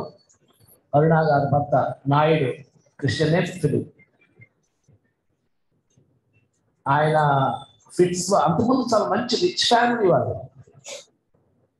అయితే ఆయన అంతకుముందు ఒకసారి బ్రెయిన్ ఆపరేషన్ జరిగింది. అప్పటి నుంచి ఫిట్స్ మనిషి బ్రతికాడు అది సంతోషం. కానీ ఏ ఉద్యోగంలో ఎవరు ఉంచలేదు. ఫిట్స్ అంటే వాళ్ళు ఎవరికే భయపడాలి తల పగిలిపోతుంది కొన్నిసార్లు ఏమవుతుందో ఎక్కడ కాబట్టి ఉద్యోగం అవుతారు జాయిన్ అవుతారు కానీ ఒక వారం పది రోజుల్లో మళ్ళీ పోతుంటారు ఉద్యోగం. కాబట్టి కేవలం అరుణమ్మ మాత్రమే కష్టపడి ఇంట్లో ఇళ్ళలో పని చేసుకుంటూ పిల్లలను పోషించుకుంటూ చాలా కష్టపడతారు దివ్య కృప శైలస్. శైలస్ ఏదో చిన్న ఉద్యోగం సంపాదించినాడు ఇప్పుడు ఫిలిప్ గారు చాలా చాలా ప్రార్థన చేయాలి మనం. దర్శనబాబు చెప్పినట్టుగా కేవలం ఆయన సిక్స్ అనే ప్రాబ్లం కాదు. ఆయనకి ఆకలి తీరింది అనే ఒక గ్లాండ్ ఫెయిల్ అయిపోయింది. ట్రైన్లో లో ఆకలి వేస్తుంది అని చెప్పడానికి ఒకటి ఉంటుంది. ఆకలి తీరింది అని చెప్పడానికి ఒకటి ఉంటుంది. అందులో ఆకలి తీరింది అనే ప్లాంట్ ఫెయిల్ ఒకటి అది ఎంత తిన్నా ఆకలి తిన్నా కనిపిస్తుంది విపరీతమైన ఆకలి అనిపిస్తుంది. ఆ ఆకలి తింటారు తినడానికి మొహమాటం ఉండదు. ఎందుకంటే ప్రాణంతో సమానం. ఇప్పుడు ఆ టైంలో ఆయన మొహమాటం కానీ గౌరవ మర్యాదలు ఏముండదు. ఇక కనపడింది తినాల్సిందే. ఇంట్లో ఏమున్నా సరే ఎవరికున్నా లేకపోయినా అవసరమైతే ఎదుటి వాళ్ళ ప్లేట్లు లాక్కుని కూడా అలాంటి అనారోగ్యంతో ఉన్నారు ఆయన. ఏం చేయాలి? ఎవరికి చెప్పుకోలేని సమస్య. నవ్వుతా చెప్తే. దయచేసి ఫిలిప్ గారి సంపూర్ణ స్వస్థ ఆశ్చర్యకరమైన స్వస్థ. ఇప్పుడు డాక్టర్ తీసుకెళ్ళచ్చు కొన్ని లక్షలు ఖర్చు పెట్టాలి దానికోసం బ్రెయిన్ సంబంధించింది కదండి. లక్షలు ఖర్చు పెట్టి రోజుకు పది రూపాయలే కష్టమైన కుటుంబం. కాబట్టి కేవలం ప్రార్థన ద్వారా మాత్రమే ఒక అద్భుత కార్యం జరగాలి. ఆ కుటుంబం మన మధ్యలో సంతోషంగా బ్రతకాలి. మన మన కుటుంబం కదా. ఆ ఇద్దరు పిల్లలు సంతోషంగా ఉన్నారు కదా. అరుణమ్మ సంతోషంగా ఉన్నారు కాబట్టి దయచేసి దర్శన్ బాబుతో పాటు నేను కూడా రిక్వెస్ట్ చేస్తాను. ఆ కుటుంబం కోసం ప్రార్థన చేయండి. ఫిలిప్ గారు సంపూర్ణ స్వస్థత కోసం ప్రార్థన చేయండి. రైట్ ఇంకెవరైనా సాక్ష్యం కానీ ప్రేయర్ రిక్వెస్ట్ కానీ చెప్తే ఈ టైం వాడుకోవచ్చు. భౌతిక పని అవుతుంది. మరి రేపు కానీ ఎల్లుండి కానీ నేను ఏం చేద్దాం చేయడానికి వెంకటలక్ష్మి గారు రెడీ చేస్తారు ఆ హాస్పిటల్లో చెప్పి ప్రార్థన చేయండి. ఎందుకు అంటే జస్ట్ స్కానింగ్ లాగా అంతే కదా. నేను పార్శ్వంగా చెప్తే ఓ ఏం చేస్తాను నేను వచ్చేస్తాను. నో నువ్వు రెస్ట్ తీసుకో పెద్ద ప్రమాదం కాదు. స్టంట్లోకి వెళ్ళి పడతా అంటే అప్పుడు అది ఎప్పుడు చూద్దాం నేను చెప్పాను. నాకైతే ఇది పెద్ద ప్రాజెక్ట్ ఒకసారి హాస్పిటల్ అడుగు పెడితే ఇక కంటిన్యూస్గా చూస్తూనే ఉండాలి నాకు నా టైం సరిపోదు నాకు ఇష్టం లేదు అది ఇలాంటి అయినా తప్పదు. కాబట్టి రేపు టెన్ ఓ క్లాక్కి కిమ్స్ హాస్పిటల్కి వెళ్తాను. రేపు వీలైతే రేపే ఎంజోగ్రామ్ చేస్తాను లేకపోతే రేపు టెస్ట్ అనేది అయిపోతే చేస్తాను. ఆ తర్వాత ఏం జరుగుతుందో ఇంకా దేవుడు చూసుకుంటారు కానీ థర్టీ ఫస్ట్ నేను ఇలాగే ఉండాలి మంచిగా ఉండాలి. అది main prayer point thirty first first నేను బెడ్ మీద కాబట్టి స్టంట్స్ ఒకటి పడితే అది ఫస్ట్ తర్వాత తప్పు ఫస్ట్ తప్పు అయితే కాదు. ఒక ఈ రోజు బాగుంది. నేను అంతా నేను మంచిగా రెస్ట్ తీసుకున్నాను. ఈ రోజు నాకు ఏ పెయిన్ లేదు. అంత బాగుంది. కనుక దేవుడు ఆశ్చర్య నాకు కూడా ఒక మిరాకులర్ ఫీలింగ్ ఇవ్వాలి అంతే. వేరే దారి లేదు మరి ఎవరు ఒక స్పెషల్ సాంగ్ కానీ ఒక సాక్షి కానీ చెప్పడానికి టైం వాడకపోతే నేను అమ్మా తెలుసుకున్నావా నువ్వు చెప్పాలి కదా. నేను చెవులతో చూడలేదు చెవులతో వినలేము. ఓకే. రైట్ తెలుసు నాకు పా- పరిచయం పాట పాడుకుంటాను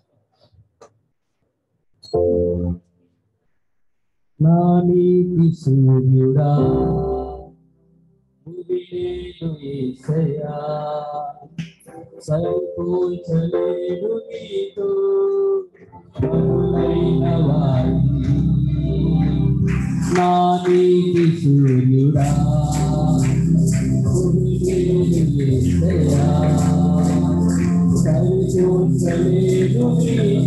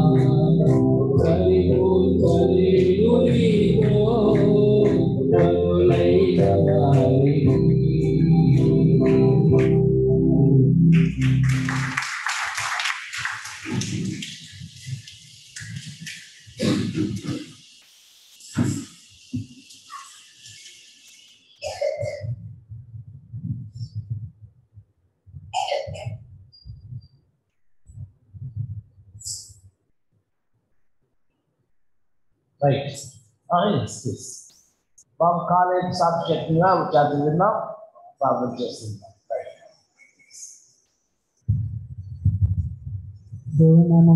కలిగిన గాక అవకాశం ఇచ్చిన పాస్టర్ గారికి సంఘ సభ్యు సభ్యులందరికీ యేసుక్రీస్తునామంలో వందనాలు మరి ఆల్మోస్ట్ వన్ ఇయర్ తర్వాత మళ్ళా వైజాగ్ రావడానికి వన్ ఆఫ్ ద రీజన్స్ ఏంటంటే మమ్మల్ని తిరిగి కాలేజ్ పిలిపిస్తారు ఆల్మోస్ట్ టూ ఇయర్స్ తర్వాత. సో అంటే ఇప్పటికి మళ్ళీ కేసెస్ పెరుగుతున్నా ఇంకా వాళ్ళు ఏమంటున్నారంటే ఇలా భయపెడుతూ కూర్చుంటే అవ్వదు ఆన్లైన్ క్లాసుల్లో చదువులు అవ్వట్లేదు ఎగ్జామ్స్ కండక్ట్ చేయడం చాలా ఇబ్బందిగా ఉందని చెప్పి ఇంకా కరెక్ట్ పిలిచేస్తున్నారు స్టూడెంట్స్ అందరినీ. సో ఇంకా అదే ఒక పనిగా ఇంకా మరి వైజాగ్ రావడం జరిగింది. మరి ఈరోజు నైతే మరి ట్రైన్ నేను తిరిగి వెళ్ళిపోతున్నాను. రిక్వెస్ట్ కూడా చేశాను. న్యూ ఇయర్ తర్వాత రావడానికి ఏమైనా ఛాన్స్ ఉంటుందా? న్యూ ఇయర్ ఇప్పుడు న్యూ ఇయర్ మిస్ అవ్వలేదు నేను. చర్చిలో ఉండడం కానీ లేకపోతే ఫ్యామిలీతో ఉండడం కానీ రిక్వెస్ట్ చేసినప్పుడు ఇంక వాళ్ళు ఒప్పుకోలేదు. లేదు స్లాట్స్లో పిలుస్తున్నాము. అలా మార్చడానికి అవ్వదు మేము సెకండ్ నుంచి క్లాసెస్ స్టార్ట్ చేయాలనుకుంటున్నాం. సో మీరు ఖచ్చితంగా ట్వంటీ సిక్స్త్ ట్వంటీ సెవెంత్ ఏదో టూ డేస్లో మీరు వచ్చేయాలి. క్యాంపస్ అని చెప్పి అన్నారు. ఇంకా అలాగే ఇంకా మరి ఇంకా ఎప్పటికైనా సరే ఎలాగో బయటకు వెళ్ళాల్సిన వాళ్ళనే కలిపి ఇంకా మరి ఇంకా సరే అని చెప్పి కంపల్సరీ రమ్మంటున్నారు అని చెప్పి వెళ్ళిపోతున్నాను. సో దానికోసం రంగు ప్రేయర్ కూడా చేయండి. మరి ఈరోజు ఈవినింగ్ ఈరోజు ఈవినింగ్ ట్రైన్ నాది. మరి అది కూడా ఇలా టూ ఇయర్స్ కూడా ఆన్లైన్ అయినప్పుడు కూడా దేవుడు ఎంతగానో కృప చూపించి అక్కడ హైదరాబాద్లోనే ఎటువంటి ఇబ్బంది లేకుండా అక్కడ ఎన్వైరన్మెంట్ కూడా ఎంతగానో అంటే ఎటువంటి కరెంట్ కట్స్ లేకుండా ఎటువంటి డిస్టర్బెన్సెస్ లేకుండా ఎంతగానో సహాయం చేసి మరి అంతా నడిపించాడు అక్కడ ఉన్నప్పుడు కూడా మరి డాడీకి అక్కడ ఉన్నప్పుడు మరి ఈ ఇదే సంవత్సరం మార్చిలో కూడా అక్కడ పేస్ మేకర్ సర్జరీ అయినప్పుడు ఎంతగానో మరి దేవుడు కృప చూపించి అక్కడ హైదరాబాద్లో మేము కొత్త కనుక చుట్టుపక్కల తెలిసిన వాళ్ళు కూడా ఎక్కువ మంది లేరు. అదే టైంలో చాలా టెన్షన్ పడ్డాం. ఎలా అని ఎంతగానో దేవుడు ఎన్నో ద్వారాలు తెచ్చి అక్కడ హాస్పిటల్లో డాక్టర్స్ అవనివ్వండి లేకపోతే స్టాఫ్ అవనివ్వండి ఎంతగానో ఎంతగానో సపోర్టివ్గా ఉండగలగడానికి అక్కడ పక్కన దగ్గరలో హాస్పిటల్లో సర్జరీ అయ్యి తిరిగి ఇంటికి వచ్చి మొత్తం అంతా రికవర్ అవ్వగలిగి ఎంతగానో సహాయం చేశారు. అది కూడా నిజంగా దేవుడు ఆశ్చర్య అద్భుత కార్యం డాడీకి మార్చిలో అయింది సర్జరీ.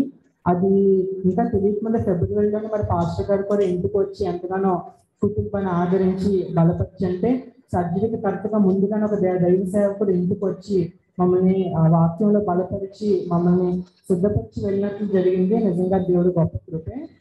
తర్వాత కూడా మరి అది కూడా అదే మమ్మీ వాళ్ళ పెళ్ళి రోజు అదే రోజున తెలియకుండానే పాస్టర్ గారు ఇంటికి రావడం నిజంగా అప్పుడు అక్కడికి చర్చెస్ కూడా ఏది ఓపెన్ చేయలేదు. కనుక ఎక్కడికి వెళ్ళడానికి లేనప్పుడు నిజంగా ఆశ్చర్యకరంగా పాస్టర్ గారిని దేవుడు మరి అక్కడ మా ఇంటికి నడిపించి అక్కడ ప్రేయర్ జరగడానికి ఎంతగానో సహాయం చేశారు. అదే రీతిగా డాడీ సర్జరీ అయిన తర్వాత కూడా మళ్ళీ తిరిగి పాస్టర్ గారు అది నా నా పుట్టినరోజు తారీఖు మళ్ళీ అది కూడా తెలియకుండానే మార్చ్ ట్వంటీ థర్డ్ అనుకోకుండా మళ్ళీ పాస్టర్ గారి ఇంటికి వచ్చి అక్కడ ప్రతి సంవత్సరం నా నా బర్త్డే అనేసరికి సార్ చర్చికి వెళ్ళి ప్రేయర్ చేయించడం లేకపోతే ఇంట్లో ప్రేయర్ పెట్టడం ఏదో ఒకటి జరిగేది. కానీ అలాంటిది ఈ సంవత్సరం డాడీగా సర్జరీ అవడం అంటే ఏందని ఏం చేయలేకపోతున్నామని అనుకున్నప్పుడు కూడా పాస్టర్ గారు మళ్ళీ మా ఇంటికి వచ్చి ఇంట్లోనే మరి ప్రేయర్ కూడా మళ్ళీ తిరిగి జరిగించడం ఎంతగానో దేవుడు కృప చూపించారు. అప్పటి నుంచి కూడా మా డాడీకి రికవర్ అవ్వడం హెల్త్లో కూడా అప్పుడు ఎంతో ప్రాబ్లం వచ్చినట్టు అక్కడ మేము ఒక్కరు నేను మమ్మీ చెల్లి మమ్మీ చెల్లి ఇంకా డాడీ నలుగురు అక్కడ తెలిసిన వాళ్ళు మాకు సహాయం చేసి నాకు ఎక్కువ మంది కూడా లేరు. అక్కడ కొత్త కనుక. అయినా కూడా ఎంతగానో దేవుడు కృప చూపించి అక్కడ మేము అక్కడ ఉంటున్నప్పుడు మాకు తోడుగా ఉండి దేవుడు ఎంతగానో నడిపించాడు. ఈ- ఈ మళ్ళీ తిరిగి వైజాగ్ రావడానికి కూడా ఎంతగానో దేవుడు కృప చూపించాడు. అందరిని బట్టి మరి దేవుడికే కృతజ్ఞతాస్తులు వచ్చినాం. మరి నా అక్కడ నా ప్రయాణం గురించి కూడా మీరు ప్రార్థన చేయండి. అక్కడికి వెళ్ళిన తర్వాత మళ్ళా కేసెస్ వస్తున్నాయని మేమైతే రూమర్స్ వింటున్నాము. అక్కడ క్యాంపస్లో లాక్డౌన్ పెట్టేస్తాం. వచ్చిన వాళ్ళని బయటకు పంపమని అంటున్నారు. సో దాని గురించి కూడా ప్రార్థించండి మీకు తెలిసిన హాస్టల్స్లో ఒక్కసారి ఒక కేసు వచ్చిందంటే ఎంత ఫాస్ట్గా స్ప్రెడ్ అవుతుంది మీకు తెలుసు. సో అక్కడ ఉన్న స్టూడెంట్స్ అక్కడ స్టాఫ్ అందరి గురించి కూడా మీరు ప్రార్థన చేయండి. అక్కడ అందరూ బాగుండగలిగినట్లు అక్కడ పరిస్థితులు అనుకూలంగా ఉండగలిగినట్లు మీరు ప్రార్థన చేయండి. మరి గురించి సాక్ష్యం దీవించిన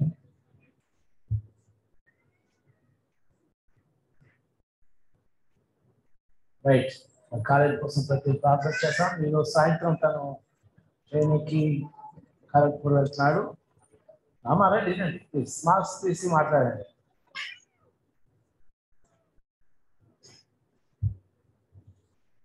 దేవుని నామానికి మహిమ కలుగును గాక. అవకాశం ఇచ్చిన దేవునికి పొద్దున్న మీ బిడ్డలందరికీ కూడా దేవుని బిడ్డలందరికీ కూడా ఎక్స్ప్రెస్ నామలో వందనాలు.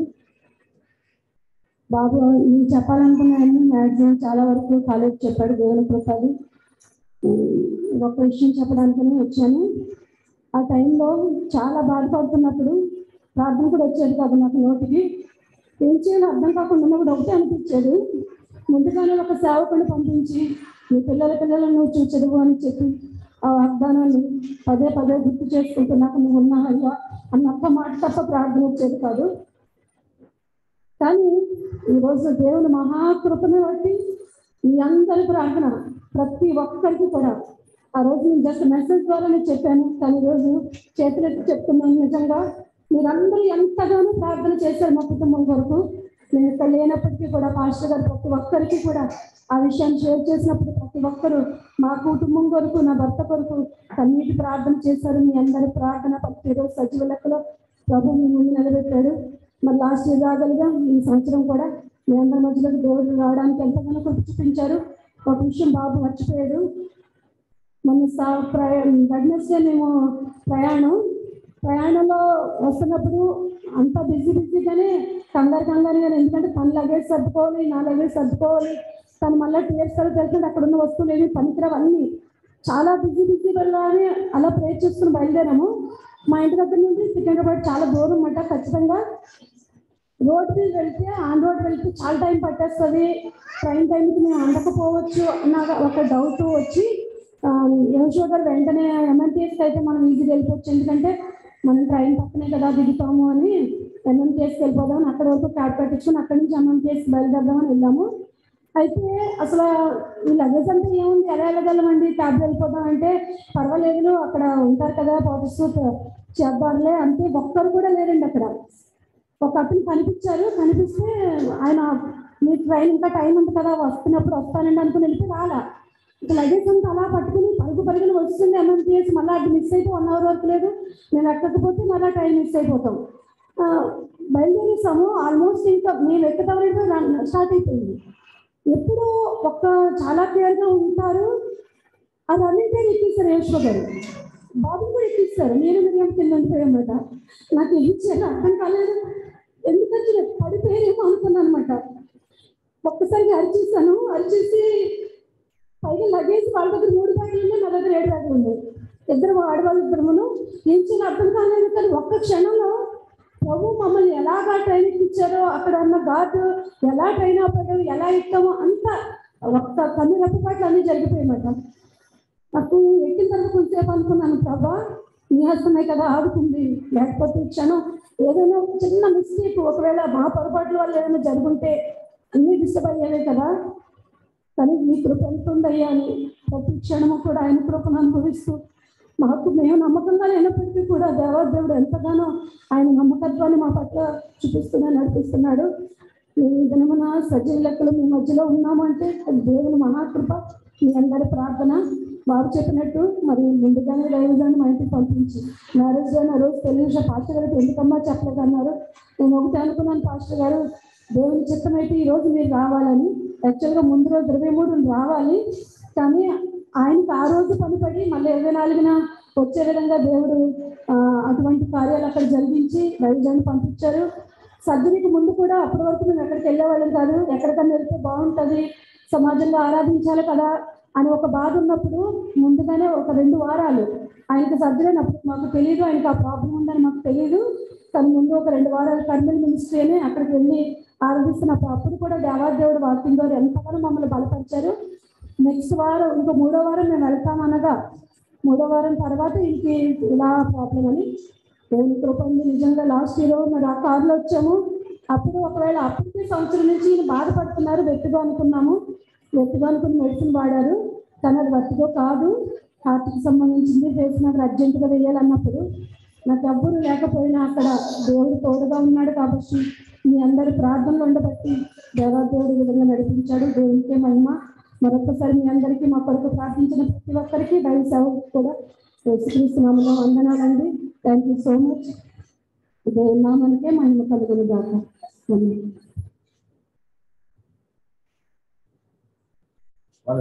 మరి నిన్న పాట పాడుతున్నారు. వెంకటలక్ష్మి గారు పాట పాడుతున్నారు.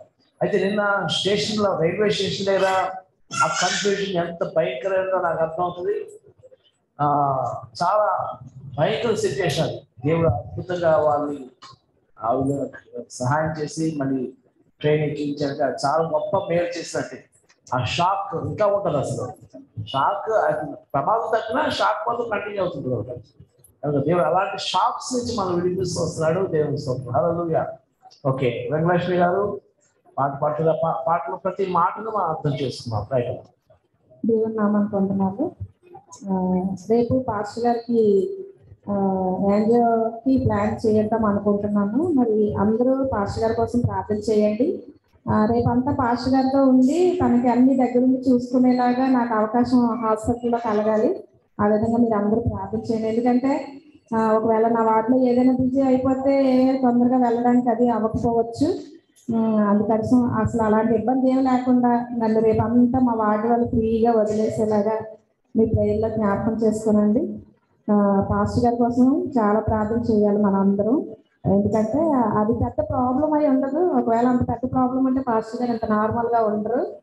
కాబట్టి మీరు అందరూ ప్రార్థన చేయండి. యాంజియోలో చాలా చిన్న దాంతో క్లియర్ అయిపోయేలాగా రిపోర్ట్ రావాలి.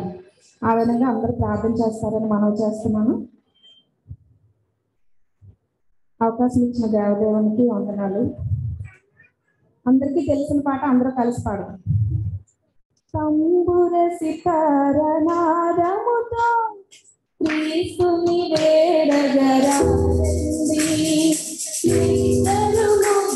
ఇద్దరు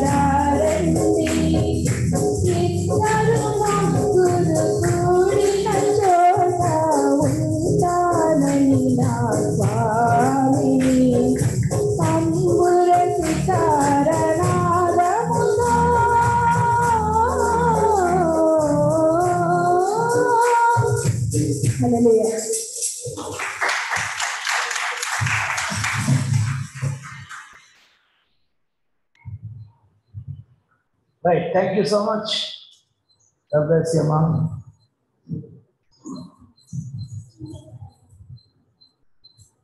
ఓకే చిన్న ప్రార్థన పరిశుద్ధురానికి వందనాలు తండ్రి నీ వాక్యం ధ్యానిస్తున్నా నీ ఆత్మకార్యాలు చదివించింది ఏసునామలో ప్రార్థిస్తున్నాను తండ్రి హలోయ మరి ఎంతమందికి ఆహారం ఒకే హలోయ అనే పాట వచ్చు వెరీ గుడ్ రోజు భోజనం చేసేటప్పుడు పాడుకుంటారు మీరు. మరి జీవాహారం మనం తినబోతున్న పాట పాడదాం. పిల్లలు వచ్చి మీకు ఆహారముకై హల్లెలూయా. ఆరోగ్యముకై హల్లెలూయా. యేసు క్రీస్తు హల్లెలూయా. నా పోషణకర్త హల్లెలూయా. యేసు క్రీస్తు హల్లెలూయా. నా పోషణకర్త హల్లెలూయా.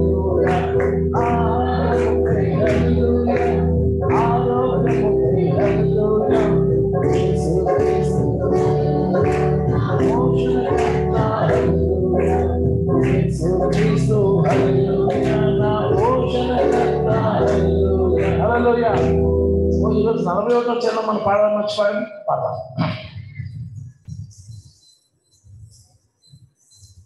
నలభై ఒకటో కీర్తనలో యేసు దేవుడు. యథార్థతను ఇచ్చి నిన్ను ఉద్ధరించు యేసుడు.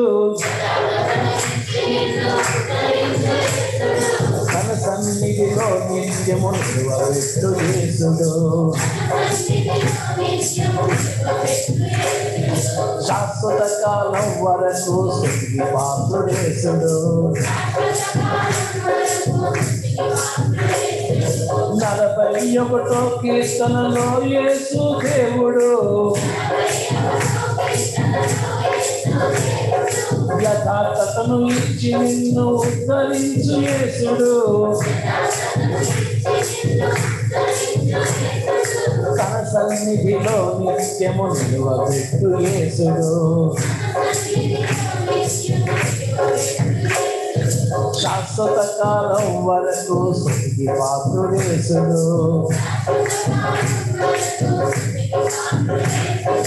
ప్రియమైన ప్రజలారా ప్రభు యేసుని ప్రియులారా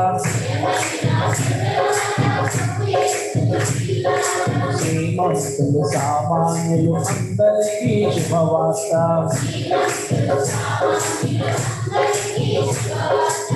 అందరికీ శుభవార్త అందరికీ శుభవార్త ఓకే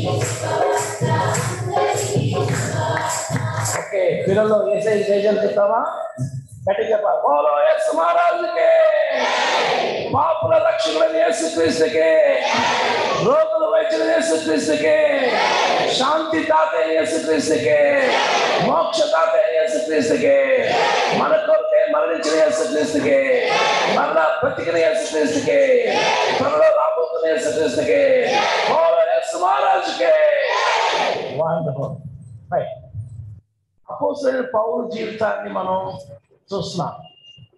కదండి? అపోసైన పౌరు జీవితంలో చాలా విశేషాలు మనం నేర్చుకున్నాం. ఈరోజు అంటే మన అపోసరైన జీ- మా పౌరు ప్రయాణం మొదలుపెట్టారు. మొదటి ప్రయాణం. ఈరోజు ఏం చేస్తామంటే అందులో కొద్ది భాగం ముందుకు వెళ్దాం. అక్కడ లాస్ట్ టైం ఏం జరిగింది? సెల్కి పౌరు అనే అధిపతి ప్రభు ఒక అద్భుతాన్ని చూశారు ఇక్కడ. అటు దాన్ని సీమోను అడ్డు పెట్టబోయాడు.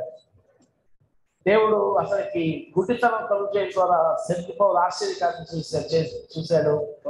ప్రభు చెందాడు ఓకే ఆ తర్వాత ఏం చూద్దాం.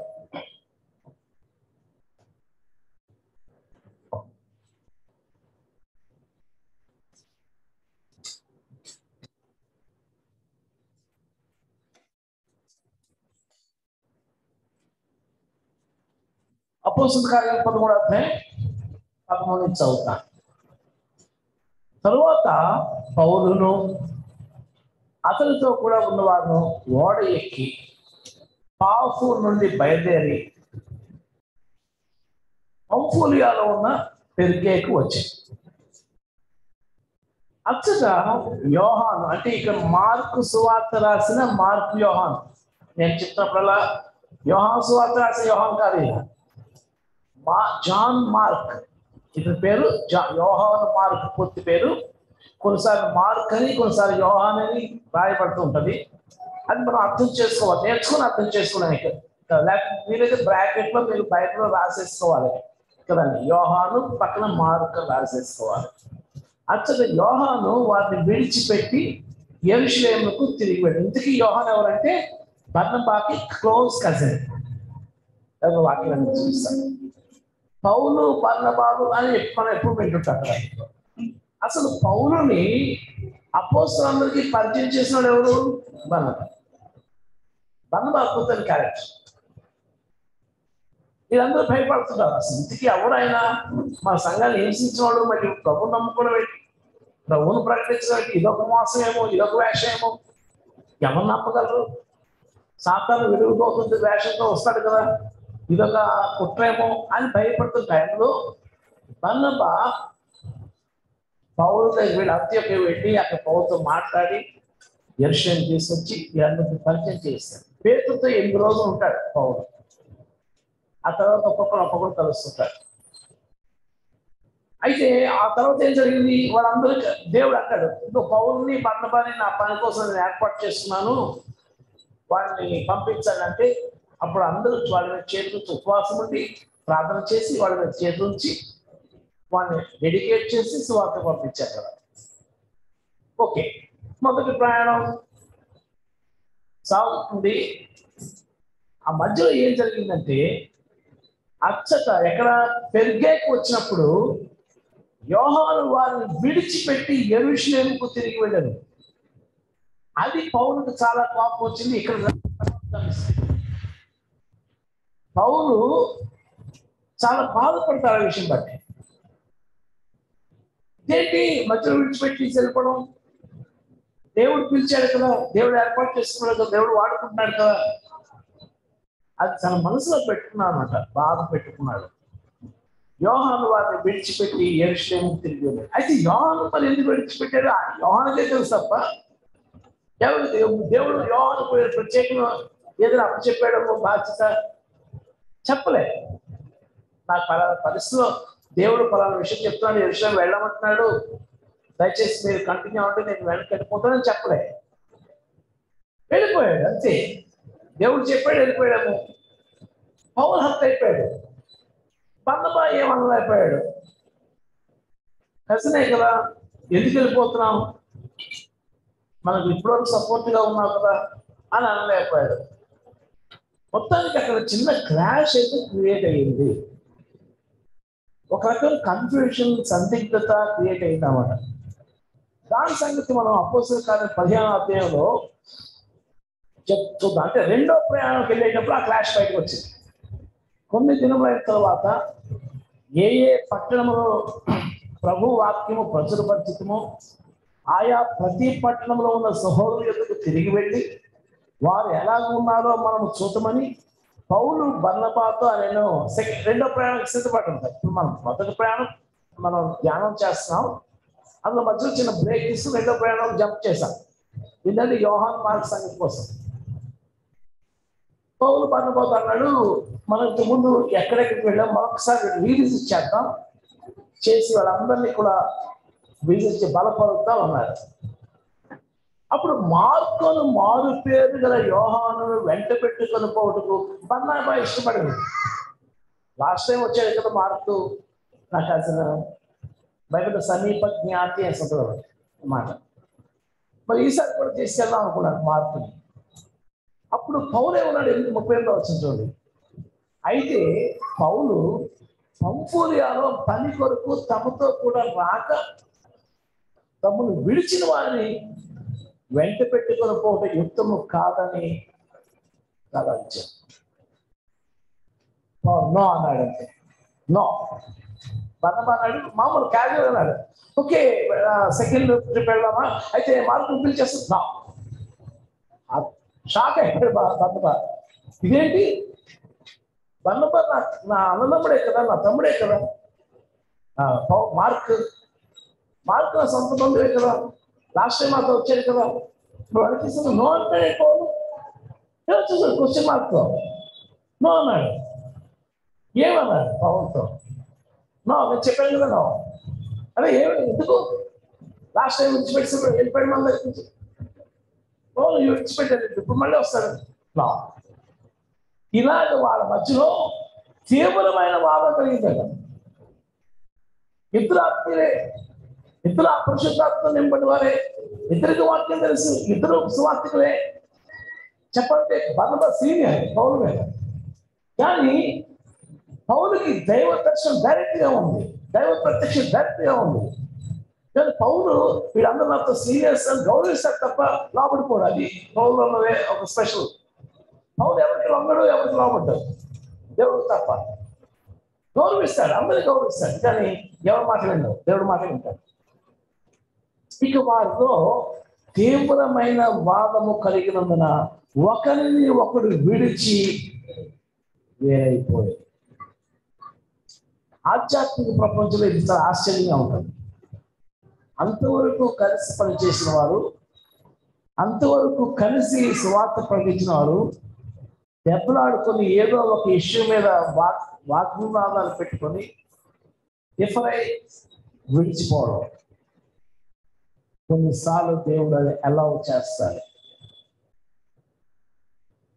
మీరు కూడా వేరే చర్చించి వచ్చారు వేరే వాళ్ళతో కలిసి సువార్త చేశారు.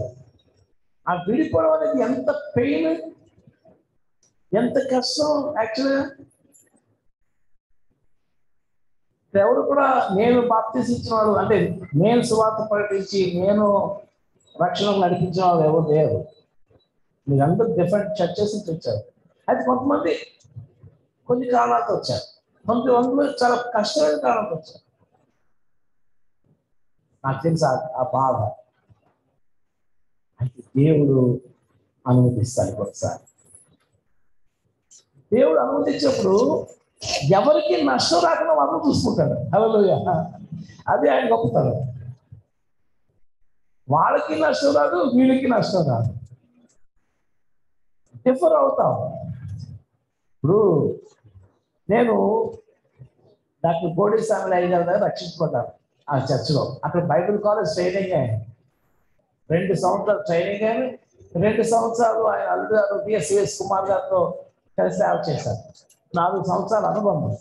ప్రారంభ అనుబంధం. ఒక టైం వచ్చేసరికి నేను వాళ్ళందరికీ వేరైపోయాను. అందరూ ఆశ్చర్యపోయాడు ఏంటి? షావేన్ డబ్ల్యూఎన్ని సంస్థను విడిచిపెట్టేశారా? గోడిఏ విడిచిపెట్టేశారా? సొంత ఆత్మీయతను విడిచిపెట్టేశారా? కుమార్ విడిచిపెట్టేశారా? అసలు ఎంత లోయల్గా ఉంటాడో ఎంత విధేయతగా ఉంటాడో అసలు షావేన్ ఏంటి? ఏం జరిగింది? ఏం జరిగింది? అన్న ఆశ్చర్యం అయితే దేవుడు నన్ను విడిచి నన్ను పక్కన పెట్టేది వాళ్ళని పక్కన పెట్టేది అందరూ హ్యాపీగా ఉన్నాం. నేను పూర్తిగా వేరే నా సేవ చేయడం మొదలుపెట్టాను. దేవుడు దీవించాను కాబట్టి అప్పుడు నాకు ఎంత కన్ఫ్యూజన్ అంటే అది కొత్తగా రక్షించబడ్డాను చాలా విషయాలు ప్రభు వీళ్ళందరూ విడిచిపెట్టి నేను ఇప్పుడు వెళ్ళిపోవడం ఎలాగా? నా ఆత్మీయ తండ్రి నా ఆత్మీయ సహోదరులు నా కోసం నన్ను ప్రేమించారు నా కోసం డబ్బు ఖర్చు పెట్టారు నాకు నా కోసం ఎంత కాన్సన్ట్రేట్ నన్ను కాన్సన్ట్రేట్ చేసే టైం ఖర్చు పెట్టారు. నేను వీళ్ళు విడిచిపెట్టిపో ఎలా వెళ్ళిపోవాలి తండ్రి? వెళ్ళిపోక తప్పదు. నేను ఎలా వెళ్ళిపోవాలో తెలియదు అప్పుడు దేవుడు నాకు ఒక పిక్చర్ చూపించాడు. ఏంటంటే ఒక పెద్ద చెట్టు ఉందండి. పిక్చర్ రియల్గా మామూలు రోడ్డు పక్కన చూపించి ఇలాగ అన్నాడు అంతే. ఆ చెట్టుకి ఆ చెట్టు మొదల దగ్గర విరిగిపోయి దాని చుట్టూ ఒక చక్రం ఉంటుంది కదండి. ఆ చక్రం దానికి వేలబడుతుంది ఆ చుట్టూ. అది ముక్క ముక్కలు విరిగిపోయి అప్పుడు అంటాడు దేవుడు ఇదేంటి? ఆ చెట్టుకి ఎవరు చక్రం తొడిగారు? కాదు కదా. అది చిన్న మొక్కగా ఉండేటప్పుడు దాని చుట్టూ ఒకటి వేశారు. వేసినప్పుడు ఆ- మొక్క పెరిగి పెరిగి పెరిగి పెద్ద చెట్టు అయిపోయింది. చెట్టు అయినప్పుడు చిన్నప్పుడు అయితే పశువులు తినేయకుండా అది అవసరం దానికి ప్రొటెక్షన్. దాని చెట్టు పెద్దదైపోయిన తర్వాత అది అక్కర్లేదు. కాబట్టి మళ్ళీ దాని చుట్టూ ఏం కట్టక్కర్లేదు. ఆ చెట్టు విరిగిపోయింది. ఆ చెట్టు అవసరం తనకు లేదు. అలాగే నీకు కూడా. నువ్వు మొక్కగా ఉండేటప్పుడు నీ చుట్టూ కొంతమంది పెట్టాను ఆధ్యాత్మిక తండ్రుల్ని ఆధ్యాత్మిక ఆధ్యాత్మిక సోదరుని ఆధ్యాత్మికమైన బంధువుల్ని చుట్టూ పెట్టాను వాళ్ళ ప్రొటెక్షన్ కానీ నువ్వు నాలో ఎదిగావు నాలో ఫలించావు. ఇప్పుడు వాళ్ళందరూ నీకు అవసరం లేదు. అప్పుడు నాకు ఊపి తీసుకున్నాను ఎందుకంటే ప్రశ్నకు జవాబు రాకపోతే కుదరదండి. ముందుకు వెళ్ళాను కదా. ఆధ్యాత్మిక ప్రపంచంలో నేను చాలా మందితో డిఫర్ అయ్యాను. నా సొంత వ్యక్తిగత అనుభవం అన్నమాట. పౌలకి పర్ణబాకి తీవ్రమైన వాగ్వాద వాగ్ వాదం ఎలా వచ్చిందో నాకు కూడా కొంతమంది నేను తీవ్రంగా నేను గొడవ పడితే గొడవ అయితే పడలేదు మాట్లాడి అనుకోలేదు కానీ మానేశాను సహవాసం చేయడం మానేశాను వాళ్ళకి వెళ్ళడం మానేశాను అంత మాత్రం వాడేమి నష్టపోలేదు నేను నష్టపోలేదు. కొన్నిసార్లు దేవుడు అనుమతిస్తాడు. దాన్ని మనం అర్థం చేసుకోవాల్సిందే. పౌలు బర్ణబా వెళ్ళిపోయారు. అయితే ఒకటి ఆ తర్వాత బర్ణబా మినిస్ట్రీ కోసం పరిశుద్ధాత్మను ఎక్కడ రాయలే? పౌలు మినిస్ట్రీ కోసం రాశారు. అంత మాత్రాన పౌలే సేవ చేశాడు బర్ణబా సేవ చేయలేదని కాదు. పరిశుద్ధాత్మని ఇష్టం అంతే. ఇప్పుడు మనందరి జీవితాల్లో ఇలాంటి సంఘటనలు జరుగుతాయి. దాన్ని మనం పరిశుద్ధాత్మ దేవుని వెలుగులో అర్థం చేసుకోవాల్సిందే. దాని జాగ్రత్త సాధారణ మనం మోసం చేసే ప్రమాదం తప్పు కదా ఇలా చేయకూడదు కదా అలా చేస్తే శాపం కదా. ఇలా అంటే వాక్యం సగమే చూపిస్తారు సగం మూసేస్తారు. సాధారణ ఏం చేస్తుంటే సగం వాక్యం చూపించి సగం మూసేసి మిమ్మల్ని కన్ఫ్యూజ్ చేస్తారు అప్పుడు దేవుడి ప్రభా ఇది నాకు అర్థం కావట్లేదు కన్ఫ్యూజన్గా ఉంది. నేను ఏం చేస్తాను అర్థం కావట్లేదు. నా క్లారిఫికేషన్ కావాలి ప్రభు అంటే ప్రభు క్లియర్గా మాట్లాడతాడు. ఒక దర్శనం ద్వారా ఒక ఉపమానం ద్వారానో ఎలాగో ఒకలా మీతో మాట్లాడతాడు. కాబట్టి మనకు ఫైనల్గా ప్రభు చూడాలండి? మీకు ఏది కన్ఫ్యూజన్ వచ్చినా ఏ సందేహం వచ్చినా ఆధ్యాత్మిక ప్రపంచంలో జరగకూడదు ఏదో జరిగిపోతుంది అనిపిస్తున్నప్పుడు ఆయన వైపు చూడండి. ఆయన సమాధానకర్త. ఆయన పేరే సమాధానకర్త. హల్లెలూయా మీకు సమాధానం ఇస్తారు మీ మనసులో మీకు సమాధానం ఇస్తారు ఇతరులతో మీకు సమాధానం ఇస్తారు కనుక దేవుని వైపు చూసినప్పుడు అన్ని సెటిల్ అవుతాయండి. పౌలు పర్ణపాలు కూడా ఇక్కడ ఆ వా- ఇద్దరికి మధ్యలో తీవ్రమైన వాదం జరిగింది. ఒకరినొకరు విడిచి వెళ్ళిపోయారు. పర్ణప మార్కును వెంట పెట్టుకుని వాడేకి కుప్రకు వెళ్ళాడు. పౌలు శీల ఏర్పరచుకో పౌలు శీలను ఏర్పరచుకొని సహోదరుల చేత ప్రభు కృపకు అప్పగింపబడిన వాడే ఇప్పుడు పౌలు పర్ణప కాదు పౌలు శీల మళ్ళీ పర్ణప మార్కు. వేరే వేరే ప్లేస్కి వెళ్ళారు. అయితే వీళ్ళు పౌరు శీలించే సంఘములను ప- స్థిరపరచుతూ సిరియా కిలికియ దేశం ద్వారా సంచారం చేయొచ్చు ఓకే. ఇప్పుడు పౌరుకి యోహన్ మార్క్ మీద కోపం వచ్చింది కదండి? ఆ యోహన్ మార్క్ విషయంలో కూడా పరంతో గొడవపడి వెళ్ళిపోయాడు. కానీ పౌలు మళ్ళీ యోహాన్ మార్కుని చేర్చుకున్నాడు అని చెప్పడానికి కొన్ని వాక్యాలు ఉన్నాయి. ఆ గొడవ శాస్త్రం కాదండి. ఆ దెబ్బలాట శాస్త్రం కాదు. అదేమిటది? మళ్ళీ పౌరులు యోహాన్ మార్కృష్ణ పాజిటివ్ మారాడు. చూడండి కొలసి పద్ధతి నాలుగో అధ్యాయం పదవచనం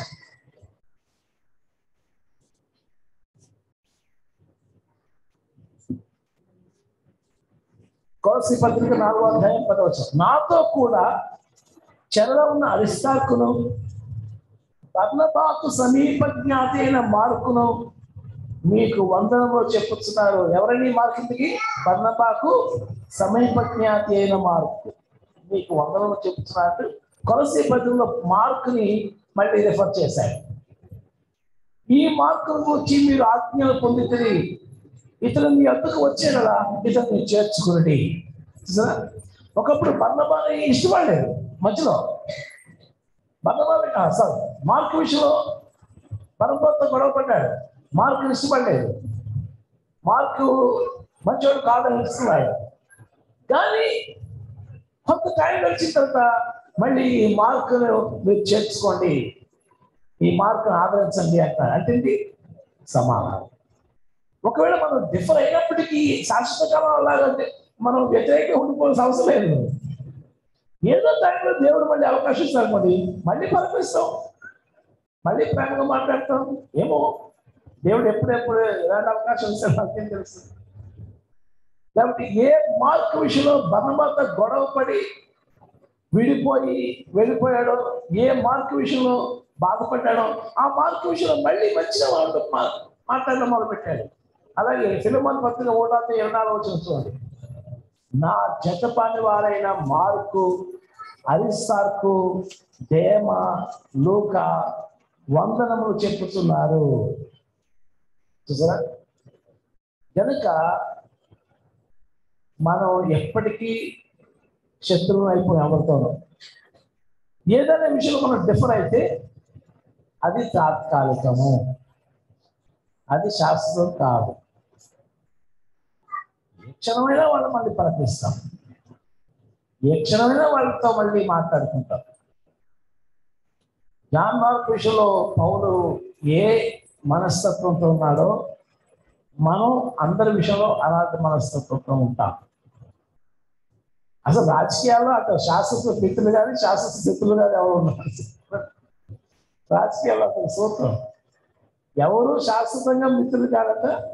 ఎవరు శాశ్వతంగా శత్రులు కాదట? అయితే అందులో సగం మనం తీసుకుందాం.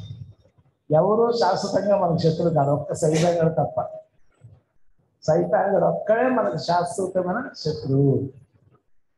అందరూ మనకి మిత్రులే. కాకపోతే మనం వాళ్ళ ద్వారా హత్య అవ్వకుండా మనల్ని మనం కాపాడుకుంటాం.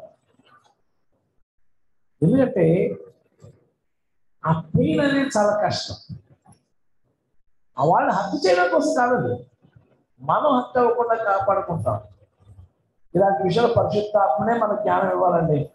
ఇంకేం చేయగా మనకు తెలియదు పరిశుద్ధాత్మనే మనం నడిపించాలి అక్కడ పౌరుని ఎలాగైతే నడిపించాడో మార్పు విషయంలో మనల్ని కూడా అటువంటి ఆధ్యాత్మికమైన ఆ కుటుంబంలో డిఫర్ అయినప్పుడు వ్యతిరేకం వచ్చినప్పుడు దేవుడే మనల్ని నడిపించాలి ఓకేనా? రైట్ ఇప్పుడు కంటిన్యూ అవుతాం అపోజిల్ కార్యం పదమూడు అధ్యాయంలో పద్నాలుగు నుంచి కంటిన్యూ అవుతాం అప్పుడు వారు పెరిగే నుండి బయలుదేరి పిసిదైలో ఉన్న అంత్యొకకు వచ్చి విశ్రాంతి దిన ముందు సమాజ మందులకు పెట్టి కూర్చుండేవి ఎక్కడ పట్టాలి సమాజ మందులు ఉంటాయి. యూదుల సమాజ మందిరాలు స్టార్టింగ్లో చెప్పాను కదా యూదేతరులకు సువార్త చెప్పట్లేదు. ఎక్కడికి వెళ్ళినా యూదులకే సువార్త చెప్తున్నాను. ఎందుకంటే యేసుక్రీస్తు యూదులు శిష్యులందరూ అందరూ యూదులు. లోక ఆ లోకా రాసిన లోక తప్ప మిగతా వాళ్ళందరూ యూదులు ఎక్కడ ఉన్నారు? అయితే ఇక్కడ నేను సమాజ మందిరం వెళ్ళేటప్పుడు ఏం జరిగింది చూద్దాం. ధర్మశాస్త్రమును ప్రవక్తల లేఖనమును చదివిన తరువాత సమాజ మందిరపు అధికారులు సహోదరులారా ప్రజలకు మీరు ఏదైనా బోధవాక్యము చెప్పవలని ఉన్న చెప్పుడి అని వారికి వర్తమానం చేసింది. ఓకే. సమాజ మందిరంలో ప్రోగ్రామ్ ఎలా ఉంటుందంటే తోరా నవీన్ కెతిబుల్ అని మూడు గంటలు ఉంటాయి. తోరా అంటే ధర్మశాస్త్ర గ్రంథం నవీం అంటే ప్రవక్త గ్రంథాలు కెతుబీం అంటే చరిత్ర గ్రంథాలు. ఈ మూడిట్లో చదువుతుంటారు. కొన్నిసార్లు ధర్మశా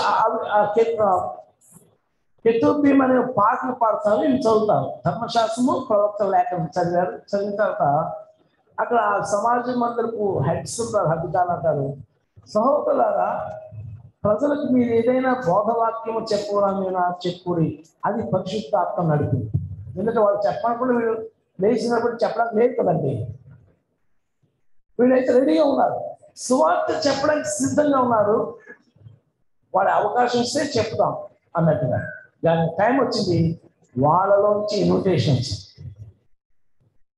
మీకు ఏదైనా వాక్యం మీ నోట్లో ఉంటే చెప్పండి అప్పుడు. అప్పుడు పౌలు నిలబడి చేసరిగా చేసి ఇట్లా చేసరిగా అంటే వందనం కావచ్చు గ్రీటింగ్స్ కావచ్చు ఏమో. మరి లేకపోతే నిశ్శబ్దంగా ఉండండి అన్నాడు మొత్తానికి స్టార్ట్ చేశారు పౌరు బోధలో ఒక క్రమం ఉంటుందండి. ఇప్పుడు మనం చూస్తున్నాం. ఇంటరాక్షన్ ఉంటుంది మెసేజ్ బాడీ ఉంటుంది క్లోజింగ్ ఉంటుంది లాస్ట్లో ఛాలెంజింగ్ ఉంటుంది. ఎందుకంటే దమానియల్ పాదాల దగ్గర నేర్చుకున్నాడు కదండి. మంచి స్కాలర్ పౌరులు కాబట్టి మాట్లాడేటప్పుడు అగతగా మాట్లాడు. యేసు క్రీస్తు కోసం చెప్పడానికి ఎక్కడ స్టార్ట్ చేశారు చూడండి. డైరెక్ట్గా యేసు ప్రభువే రక్షకుడు. యేసు ప్రభువుని అనుకుని సరిపడి తిరిగి బ్రతకని చెప్పట్లే. అసలు వాళ్ళకి ముందు ప్లాట్ఫామ్ వేస్తారు మనవాడే యేసుక్రీస్తు ఎవరో కాదు. మనం ఇంతవరకు నమ్ముతూ వచ్చినవాడే అంటూ చెప్పడానికి వాళ్ళకి ముందుకు ప్లాట్ఫామ్ వేశారు ఇప్పుడు ఇవన్నీ కూడా మన ప్లసెసే ఇస్రాయేలీలారా దేవునికి భయపడే వాళ్ళారా? సరే అడ్రసింగ్లో పెట్టారు మీరు దేవునికి దేవుని వాక్యానికి భయభక్తులు చూపించేవారు. అనగానే వాళ్ళందరూ చేతులు కట్టేస్తారు అడ్రసింగ్లోనే మొత్తం. ఆ అటెన్షన్ లాగేస్తారు. సార్ ఇది నేర్చుకుందాం మనందరూ కూడా. అడ్రస్సింగే పక్కా ఉండాలి. మీరు అడ్రస్ చేసేటప్పుడే పక్కా ఉండాలి. అక్కడే వాళ్ళు పట్టుకోవాలి. ఆ ఫస్ట్ లైనే మీకు మార్గం. ఇంకో గంట సేపు మాట్లాడ మాట్లాడడానికి మార్గం. మీరు ఫస్ట్ లైన్ సరిగ్గా కంపోజ్ చేయలేదనుకోండి ఇక ఎవరు రెడీగా ఉంటుంది మాట్లాడడం బయట ఎంత ఎన్ని విషయాలు అనిపిస్తుంది మనకి? ఇస్రాయేల్ వాళ్ళారా? దేవునికి భయపడు వాళ్ళారా? వినుడి. ఎంత అద్భుతమైన ఓపెనింగ్ అండి కదా? మీరు పరిశుద్ధాత్మ అడగండి. పరిశుద్ధాత్మ నాకు జ్ఞానం దయచు నేను నిలబడి మాట్లాడేటప్పుడు how to open how to enter అనేది నాకు నేర్పించి. ఆ మొదటి నాలుగు ఐదు మాటలు ఎలా పలకాలో నాకు నేర్పించండి అని మా మీరు అడగండి. పౌరుకు నేర్పించినాడు మీకు నేర్పించడా? తప్పకుండా నేర్పిస్తాడు. మీకు పది నిమిషాలు టైం ఇచ్చేసుకోండి ఆ పది నిమిషాల్లో పలకాల్సిన ప్రతి మాట పరిశుద్ధాత్మ మీ నోట్లో పెడతారు కాబట్టి మీరందరూ కూడా దేవుని పక్షాన నిలబడి మాట్లాడే వారిగా ఉండాలని నేను కోరుతున్నాను. ఎవరో ఒకరిద్దరే కాదు. రైట్ ఇస్రాయిల్ అన్నారా? దేవునికి భయపడు అన్నారా వినుడి ఇస్రాయేలు అను ఈ ప్రజల దేవుడు మన పితరులను ఏర్పరుచుకొని ఎక్కడ స్టార్ట్ చేశాడు? పునాదులు ఏర్పడాడు. పునాదులు ఎక్కడ స్టార్ట్ చేశాడు? కదా? ఈ ఇస్రాయేలు ఈ ప్రజల దేవుడు మన పితరులను ఏర్పరచుకొని వారు ఐగుప్తు దేశమందు పరదేశులై ఉన్నప్పుడు ఆ ప్రజలను హెచ్చించి తన భుజబలము చేత వారిని అక్కడ నుండి తీసుకొని వచ్చి చక చక ఐదు ఆరు అధ్యాయాలన్నీ తెలిసి ఒక ఆయన పెట్టనమాట. గమనించారు నిర్గమ కాండంలో ఉన్న విషయాలు కొన్ని అధ్యాయాలన్నీ కలిసి ఒక లైన్లో పెడతాడు షార్ట్ కట్ చేస్తున్నాడు చేస్తూ చేస్తూ ఎంటర్ అవుతున్నాడు. ఈ ప్రజల దేవుడు మన పితరులను ఏర్పరచుకొని ఆ ఒక్క ముక్క ముక్కలు ఏమేమి ఉన్నాయి? అబ్రాహ్మను పిలవడం కదండి. అబ్రాహ్ము కోమవాడు ఇస్సాకు ఇవ్వడం ఇస్సాకుడు యాకోబు ఏషావులు యాకోబు సంతానం ఇవన్నీ కూడా వస్తాయి కదండి. ఆ యాకోబు సంతానం మొత్తం కలిగి ఒక ఐగుప్తులు చేరడం అంత కలిసి వారు ఐగుప్తు దేశంలో పరదేశం ఉన్నప్పుడు అనే మాట ఇచ్చారు కదండి. ఉన్నప్పుడు ఆ ప్రజలను హెచ్చించి అంటే మళ్ళీ సోవియట్ కలిసి ఒక వాళ్ళు పరదేశమైనారు బానిసగా బతికారు నలభై సంవత్సరాలు తర్వాత హింసించబడ్డారు తర్వాత మోసే ద్వారా విడుదల పొందారు కనాన్ దేశం తీసుకొచ్చి రాబడ్డారు పద అద్భుతాలు జరిగిపోయాయి. ఇవన్నీ కలిపి ఒక మాట ఏంటిది వారిని హెచ్చించి. చూసారా? అంటే ఈ ప్రజలందరి మనసులో ఉన్నాయి. అవన్నింటినీ కూడా ఒక్కొక్క మాటలో చూపించేస్తామట హెచ్చించి తన భుజ బలము చేత వారిని అక్కడి నుండి తీసుకొని వచ్చి భుజ అనే మాటలో అద్భుతాలన్నీ పెడిసామట ఎర్ర సముద్రం విడిపోవడం నుంచి మన్న కురవబడడం మరి అనేక అద్భుతాలన్నీ కూడా కలిసి ఒకే మాట. భుజ బలము దేవుని భుజ బలం భుజ బలం చేత వారు అక్కడ తీసుకొని వచ్చి ఇంచుమించు నలభై ఏళ్ళ మట్టుకు అరణ్యంలో వారి చేష్టలను సహించిన అక్కడ చిన్న చొరవ పెట్టాడు చిన్న చిన్న చొరవ చేష్టలు అన్నాడు అన్నమాట అంటే చేసిన తప్పులు అపరాధములు దోషములు లేదంటే పాపములు పొరపాట్లు అన్ని కలిపి చేస్తున్నారు ఇంచుమించు నలుబది ఏండ్ల మట్టుకు అరణ్యములో వారి చేష్టను సహించాను. మరియు కనాన దేశంలో ఏడు జాతుల వారిని నాశనం చేసి యోషవ గ్రంథంతా క్రియేట్ చేశాడు. చూసా ఒక్కొక్కటి నిర్గమ కారణం. కలదు లేవి కారణం సత్యకారణం ద్వితీయోపదేశ కారణం. ఒక్కొక్కటి ఒక్కొక్క లైన్లో ఒక్కొక్క పదంలో పెట్టేశారు పెట్టేసి యహోశివ గ్రంథం అంతటికీ ఒక లైన్ పెట్టాడంటే కణాల దేశంలో ఏడు జాతులు వారిని నాశనము చేసి కదండి? వారి దేశంలో వీరికి స్వాస్థ్యంగా పంచిచ్చారు. అసలు మీకు ఆ గ్రంథాలు మీ బ్రెయిన్లో ఉంటే ఒక్కొక్క లైన్ చదివి వెంటే అవన్నీ మీకు ఆటోమేటిక్ జ్ఞాపకం వచ్చేస్తాయి కదండి? చూసారా పౌరు ఎంత చక్కగా ఎక్స్ప్లెయిన్ చేస్తున్నాడు? అంటే అక్కడ అందరూ కూడా వినేటప్పుడు అవన్నీ వాళ్ళ మనసు జ్ఞాపకం వస్తుంటాయి. చూడండి ఇంచుమించు నాలుగు వందల యాభై సంవత్సరములు ఇప్పుడు జరిగేది అంటే నేను ఇప్పుడు చెప్పిందంతా నాలుగు వందల యాభై సంవత్సరాలు హిస్టరీ చెప్పాను అంటాడు అన్నమాట నాలుగు వందల యాభై సంవత్సరాల హిస్టరీ నాలుగు లైన్లో నేను మీకు చెప్పాను జ్ఞాపకం అది అంటే క్రాన్లాస్ రాకుండా చెప్తున్నాను. ఇది అది అల్లటప్ప అప్పాలు కాదు కాదు ఇది పుక్కిడి పురాణాలు కాదు. యథార్థంగా జరిగిన విషయాలు ఇవి. నాలుగు వందల యాభై సంవత్సరాల హిస్టరీ మీకు ఎక్స్ప్లెయిన్ చేశారంటారు. అటు తర్వాత ప్రవక్త అయిన సమూహేలు వరకు ఆయన వారికి న్యాయాధిపతులు దయచేసి న్యాయాధిపతులు గ్రంథం కవర్ చేశాను ఒక మాటలో న్యాయాధిపతులను తయారు అసలు ఈ మాటలు మీకు జ్ఞాపకం ఉంటే ఇవన్నీ చదువుకున్నామండి ఆ గ్రంథాలన్నీ మీకు ఆటోమేటిక్ జ్ఞాపకం వచ్చేస్తాయి. ఆ తరువాత వారు రాజు కావాలని కోరగా దేవుడు బెన్యామీని గోత్రీయులను కీషు కుమారుడైన సౌరుల వారికి నలభై ఏళ్ళ వరకు దయచేసిన రాజు గ్రంథాలకు వచ్చారు సార్ ఒక్కొక్కటి ఒక్కొక్కటి కవర్ చేసుకుంటూ గ్రంథానికి ఒక మాట చెప్తున్నాడు అనమాట గ్రంథానికి ఒక మాట చెప్పుకుంటూ షార్ట్ చెప్తున్నాడు. తర్వాత అతను తొలగించి దావీదును వారికి రాజుగా ఏర్పరచను. అంటే సమయ రాజు తను సమయంలో రాజు కన్ను దేవుడు తన తరపులో వచ్చేస్తాడు దావీ ఇప్పుడు చూడండి మరియు ఆయన ఇక్కడ ప్రవచనాన్ని ఎత్తాడు దావీదును వారికి రాజు ఏర్పరచు ఇదంతా వినేటప్పుడు వాడు ఎలా ఉంటుంది మా విషయాలే ఇవన్నీ మా విషయాలే. మేము చదువుకున్న విషయాలే మేము నేర్చుకున్న విషయాలే. ఈ రోజు మేము పాడుకుంటున్న విషయాలే. రోజు మా కుటుంబ ప్రాంతంలో నేర్చుకున్న విషయాలే అనుకున్నా కదా. ఇప్పుడు పెట్టాడు ఇక్కడ ఒక అద్భుతమైన పాయింట్ అంటే నేను యశ్వ కుమారుడైన దావీదుని కొట్ట కనబట్టింది అతను నా ఇష్టానుసారైన మనుషుడు అతను నా ఉద్దేశం అన్ని నెరవేర్చమని చెప్పి అతని గురించి సాక్ష్యం ఇచ్చను దావీది కోసం దేవుడు అద్భుతమైన సాక్ష్యం ఇచ్చాడు. అతని సంతానము నుండి దేవుడు తన వాగ్దానం చొప్పున ఇస్రాయేలు ఒకరికి రక్షకుడు యేసుని పుట్టించి ఇప్పుడు వచ్చాడు. యేసుక్రీస్తు. అది పౌతానిక ప్రెజెంటేషన్. డైరెక్ట్ యేసుక్రీస్తు చెప్పలేదండి డైరెక్ట్ వ్యవసాయ రక్షకుడు అంతలే సాక్షిలేదు ఇతర దగ్గర ప్రారంభించాడు ఒక్కొక్క లైన్లో ఒక్కొక్క గ్రంథం కవర్ చేసుకుంటూ వచ్చేసాడు.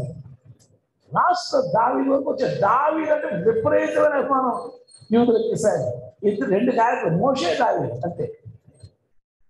వాళ్ళిద్దరిని అభిమానించిన ఇంకెవరు అభిమానించారు. కాబట్టి ఇస్రాయల్ మాట్లాడేటప్పుడు పౌరులు ఎక్కడైనా మోసేది కానీ దావి కానీ చెప్తుంటారు కూడా వాళ్ళిద్దరు పేర్లు ఎక్కడ ఎక్కువ సో చెప్పరు.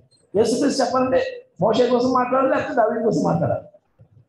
కాబట్టి ఆ దావీదు సంతానంలో ఉండే యేసు అను రక్షకుడు మనకు వచ్చాడు. అప్పుడు వాళ్ళు ఆలోచించడం మొదలు పెడతారు అసలు యేసు ఎక్కడ యేసు తాలూకా ఆ పుట్టు పూర్వతరాలు ఏంటి పునాదులు ఏంటి అని చెప్పకపోతే ఆ, ఎవరు అనుకుంటారు. దాని పిల్లలు అబ్రాహం మీద మొదలు పెట్టాడు కాబట్టి అబ్రాహం వాళ్ళు తెలుసు. ఆ ఫస్ట్ కింగ్ సౌండ్ తెలుసు వీళ్ళందరూ తెలుసు. కాబట్టి ఇవన్నీ చూసుకుంటూ చూసుకుంటూ ఏసు కనెక్షన్ దొరుకుతుంది వాళ్ళకి ఓకే ఏసు ఎవరో కాదు.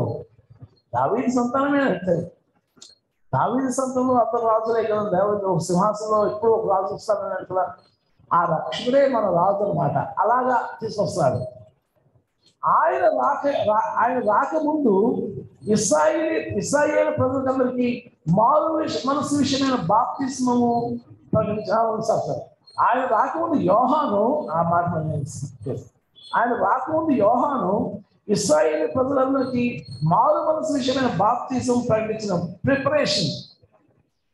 యోహాను తన పని నెరవేర్చుతుండగా నేను ఎవడదని మీరు తలుస్తున్నారు? నేను ఆయన కానును. ఇదిగో నా వెనక ఒక ఒకడు వస్తున్నాడు. ఆయన కాళ్ళ చెప్పుల చెప్పులు విప్పుడు కలిగి నేను పాత్రను కానని చెప్పాను.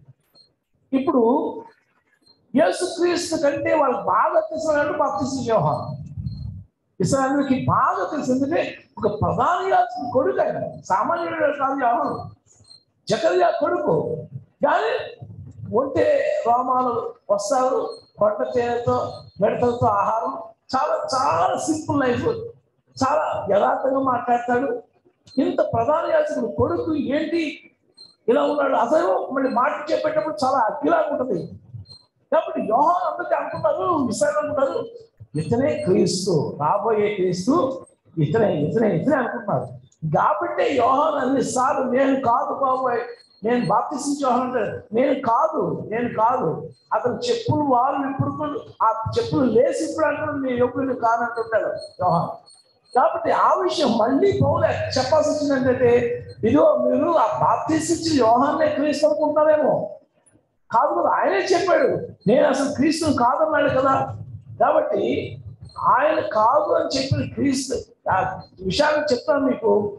యేసు క్రీస్తు నిజమైన రక్షకుడు మనకు అని చెప్తారు అప్పుడు చెప్తారు సహోదరులారా అబ్రహాము వంశస్థులారా. మళ్ళీ అడ్రస్ చేశాడు మధ్యలో.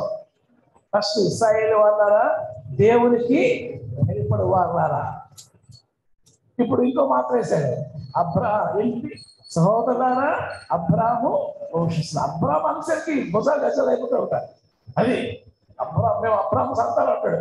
నోరు వస్తుంది వాళ్ళకి కూడా దేవుడు కొట్టించాలని దేశం వస్తుంది వాళ్ళ వల్ల కూడా అబ్రాహ్మ సంతానం పుట్టించాలి ఏంటి పెద్ద అంటాడు. ఇది ఎప్పుడు ఆ మాట ఉంటుంది. అబ్రాహ్మ వంశం అబ్రాహ్మ సంతానమే అంటుంటాడు అయితే మరొకసారి ఆ మాట ఎదుగుతాడు అబ్రాహ్మ వంశస్థులారా. దేవునికి భయపడవాలా? మళ్ళీ ఆ మాట పెట్టాడు. సహోదరారా అబ్రాహ్మ వంశస్థులారా దేవునికి భయపడవాలారా? ఈ రక్షణ వాక్యము మన ఎందుకు పంపబడినది. ఇది రక్షణ వాక్యం. మీరేదో కామన్ అనుకోకండి. ఊరు మాట్లాడేటప్పుడండి గన్ షాట్ అన్నది ఒక బుల్లెట్ కాల్చినట్టుగా అది గుండెలోకి వెళ్ళిపోవాలంటే అంగీకరించడం అంగీకరించడం తర్వాత విషయం. అమ్మా ఇది కరెక్టే అని మాత్రం అలా అనుకుంటారు. కొంతమంది మొహమాటంతో లేకపోతే ఏదో భయాలతో అంగీకరించలేదు కానీ మన మనసు మాత్రం ఇది కరెక్టే అనిపిస్తుంది. కాబట్టి అంటే ఈ రక్షణ వాక్యం మన యొక్కకు పంపబడినది. ముఖ్యంగా పరిశుద్ధ దేవుడు ఈ ప్రపంచంలో అన్ని జాతుల నుంచి మన జాతిని ప్రత్యేకపరిచాడు. అబ్రాహ్మ వంశాన్ని ఇస్రాయేలీ ప్రజలను ప్రత్యేకపరిచి మన దగ్గరికి రక్షణార్థం పంపించాడు. మనలో ప్రభు పుట్టేలా చేశాడు. ఆయన యూదులుగా పుట్టాడు. అబ్రాహ్మ వంశంలో దావీదు సంతానంగా పుట్టాడు. ఈ రక్షణ మనకి పంపించబడింది. ఇది మనది స్టార్టింగ్లో అనేసరికి వాళ్ళ ఆలోచన పండుగ మొదలు పెట్టారు కరెక్టే కదా? ఏంటి మనం దీన్ని ఎందుకు రిజెక్ట్ చేయాలి? ఎందుకు మనం దాన్ని మనం వ్యతిరేకించాలి? అని ఆలోచనలో పడతారు.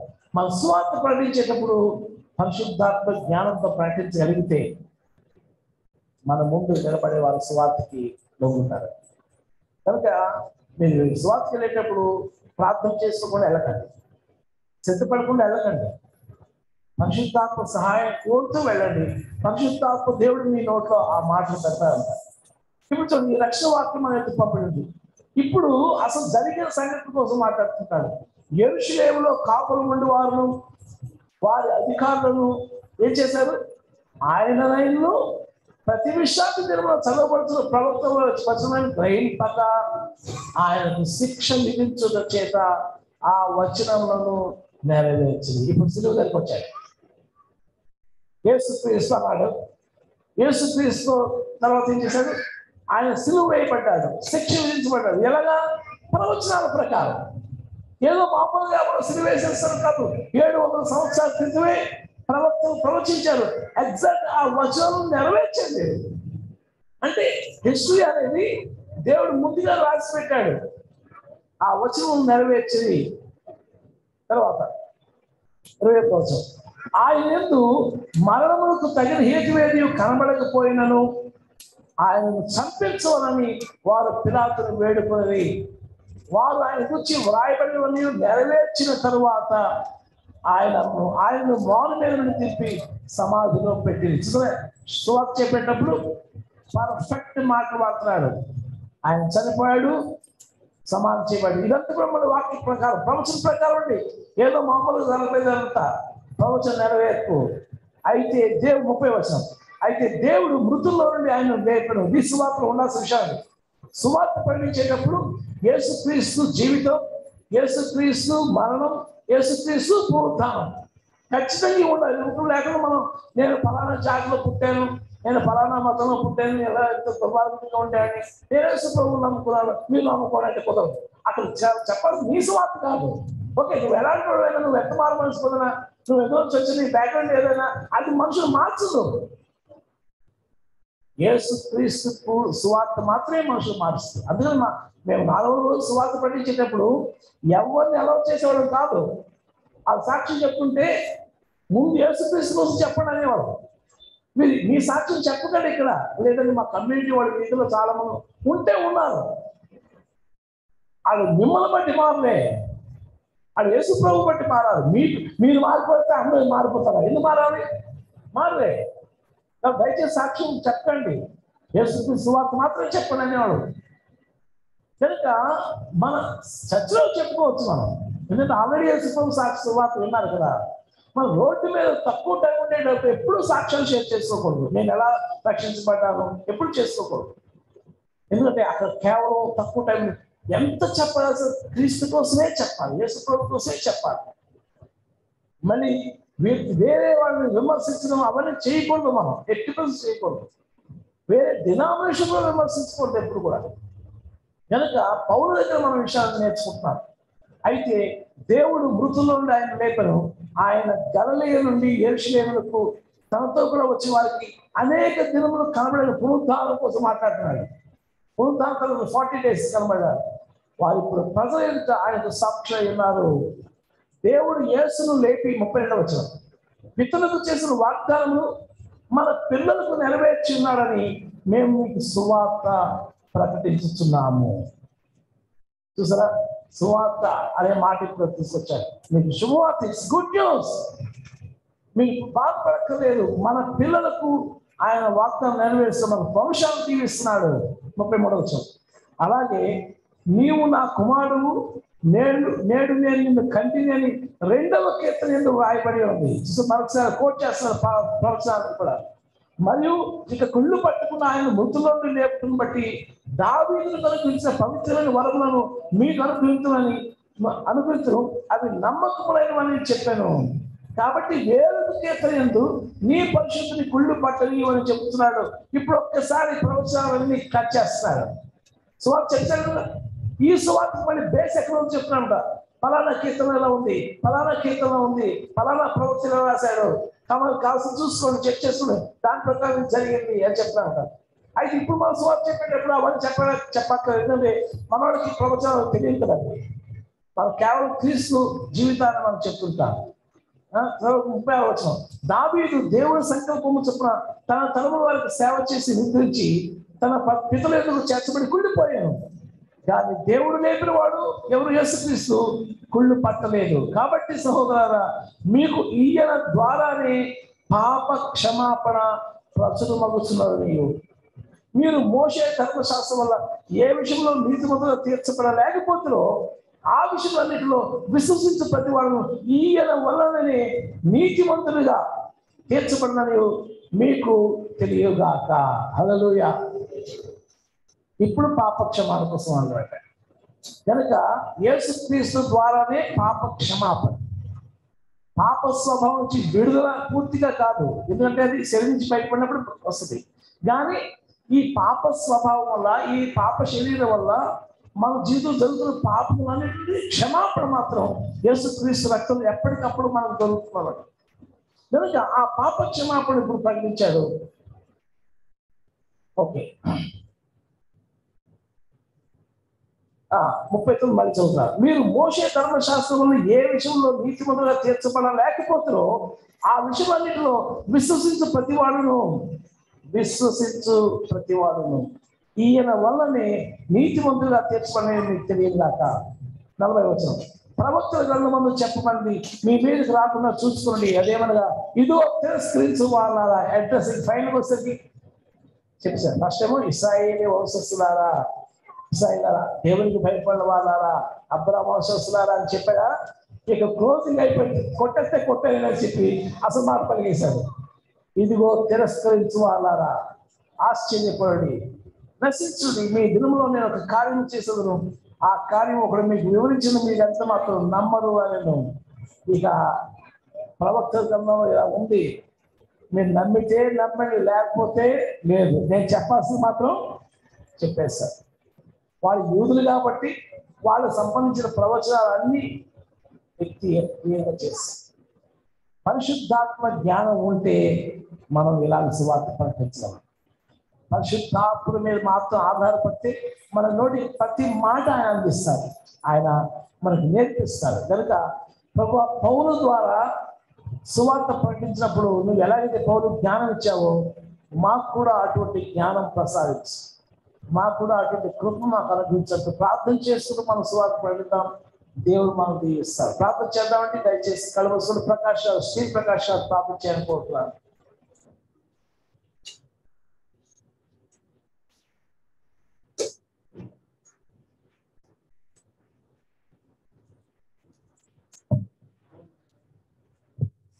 మహోన్నతుడ మహాగరుడ మహామహిమ కలిగిన మా తండ్రి నాయన మమ్మల్ని కూడా ఈ సంవత్సరం చివరి ఆదివారంలో తండ్రి చేర్చి మీ దివ్యమైన వాక్యాన్ని వినడానికి నాయన మీరు మమ్మల్ని నేర్పుతున్న విధానాన్ని బట్టి మీకు స్తోత్రాలు వందనాలు. పరిశుద్ధాత్మ దేవ ఈ పరిశుద్ధాత్మ తాకిని ప్రతి ఒక్కరూ అనుభవించారని నాయన మేము నమ్ముతున్నాం. మీరు మాతో ఉన్నారని మేము నమ్ముతున్నాం. మీరు నాయన మాకు ప్రకటించిన విషయాలు తండ్రి ఎంతో అమూల్యమైనవి. నాయన మీ ప్రియభక్తులు పౌరు గారు తండ్రి ఏ విధంగా ప్రకటించాలో ఏ విధంగా అడ్రస్ చేయాలో ఏ విధంగా మాట్లాడాలో ఏ విధంగా నాయన కంక్లూజన్ ఇవ్వాలో తండ్రి తండ్రి ఈ వాక్యము ద్వారా మాకు నేర్పించారు. అందరి బట్టి మీకు స్తోత్రాలు వందనాలు. ప్రభా మేము కూడా ఎవరికైనా స్వార్థ చెప్పినప్పుడు మీ పరిశుద్ధాత్మ సన్నిధిని నాయన మేము పొందుకుని ఈ పరిశుద్ధాత్మ సహాయంతో తండ్రి ప్రతి విషయాన్ని చక్కగా వారికి అర్థమయ్యేటట్టుగా నాయన మరొకసారి నాయన వాక్యాన్ని వారు మాకు చెప్పండి అనే విషయం విధంగా తండ్రి స్వార్థ ప్రకటించడానికి మీరు సహాయం దయచి పౌరు మొదటి ప్రయాణం ద్వారా తండ్రి మీరు మాకు చక్కని విషయాలు నేర్పుతున్నారు. అందుని బట్టి మీకు వందన ఈ విషయాలను తండ్రి ఒక్కొక్కరి మనసులో నాయన ముద్రించి దాన్ని నాయన వారి జీవితాంతం తండ్రి ఈ సన్నిధిలో జ్ఞాపకం చేసుకోవడానికి సహాయం దాయించండి వాటిలో ఉన్న ప్రతి ఒక్క బిడ్డని మీరు జీవించండి ఆశీర్వదించండి. మీ చిత్తానుసారంగా నాయన మీ మార్గంలో నడిపించండి. మీ కృప మీ కాపుదల మీ సన్నిధిని నాయన వారిపై ఉంచండి. వాక్యాన్ని మీ దాసులను మీరు నాయన మీ సులుచాట్ను మరుగుపరిచి ప్రభా కాపాడి ఆ మంచి ఆరోగ్యము నాయన ఆయుష్ దయచేయమని మీ కృపలో మమ్మల్ని అందరినీ నాయన జ్ఞాపకం ఉంచుకోమని మా రక్షకుడు విమోచకుడైన యేసు క్రీస్తు నామమున అతిగా వేడుకుంటున్నాము తండ్రి. థ్యాంక్ యూ ప్రదర్శన్ మరి కాన్ఫరెన్స్లో ఎవరు ఈ కట్టే పాట పాడడానికి రెడీ అయ్యారు వాళ్ళండి మా ఎవరమ్మా? కాన్ఫరెన్స్ సమయంలో శుభాకర్ గారా రైట్.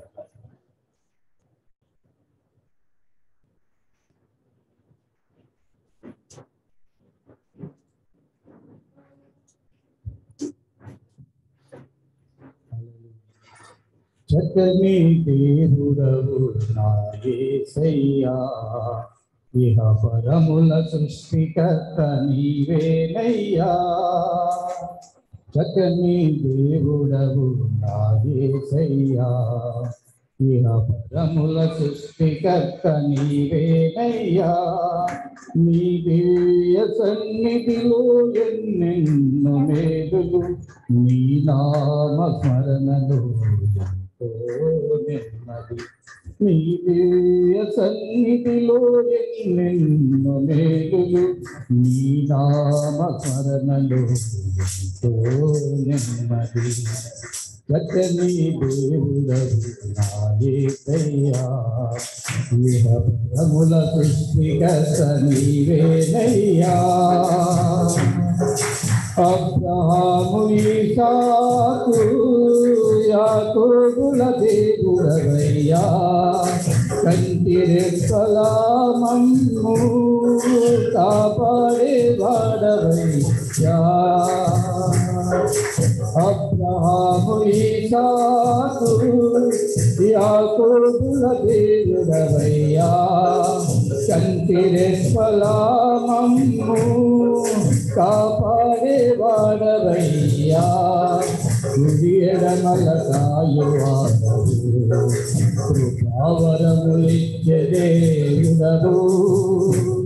కుడి ఎడమల కాయువాడవు కృపావరములిచ్చే దేవుడవు. లేఖనాలు నెరవేర్చు వాడవు వ్యధలన్నిటికే లేఖనాలు నెరవేర్చు వాడవు వ్యధలన్నిటికే దేవుడవు దేవుడవు నాయకయ్యా ఈర పదముల సృష్టికర్త నీవేనయ్యా చక్కని దేవుడవు నాయకయ్యా ఈర పదముల సృష్టికర్త నీవేనయ్యా భూమిని అందున్న వారి సృష్టించిన దేవుడవయ్యా. ప్రాణమిచ్చి ప్రేమగా తెచ్చుకునే వాడవయ్యా. భూమిని అందున్న వాటిని సృష్టించిన దేవుడవయ్యా. ప్రాణమిచ్చి ప్రేమగా తెచ్చుకునే వాడవయ్యా. చేతలలో చూపించు వాడవు చేతులతో ఎత్తుకునే చేతలలో చూపించు వాడవు చేతులతో ఎత్తుకునే నమ్మదగిన నాయకుడవు. నెమ్మది నిచ్చే నా దేవుడవు. నమ్మదగిన నాయకుడవు. నెమ్మది నా దేవుడవు. సకలి దేవుడయ్యా ఈన పరముల సృష్టికర్త నీవేనయ్యా. నీ దివ్య సన్నిధిలో నిన్ను మేలు నీ నామ స్మరణలో నీ సన్నిధిలో ఎన్నెన్న మేలు నీ నామ స్మరణలో గతని దేవుడయ్యా ఈన పరముల సృష్టికర్త నీవేనయ్యా పరిశుద్ధానికి వందనాలు చెల్లిస్తున్నాం తండ్రి. మంచి దేవుడు మా రక్షకుడు. ఈ సందులో మేము నేర్చుకున్న విషయాలన్నిటి బట్టి స్థుతిస్తున్నాను నాయన సువార్త ప్రకటన అనేది ఎంత పకడ్బందీగా అది డిజైన్ చేయబడిందో పౌరు ద్వారా మాకు నేర్పించి మరి మేము నేర్చుకోవడానికి సహాయం చేసి మళ్ళీ ప్రతి ఒక్కరిని సువార్థికునిగా సువార్థికురాలుగా మార్చడం ప్రార్థిస్తున్నాం.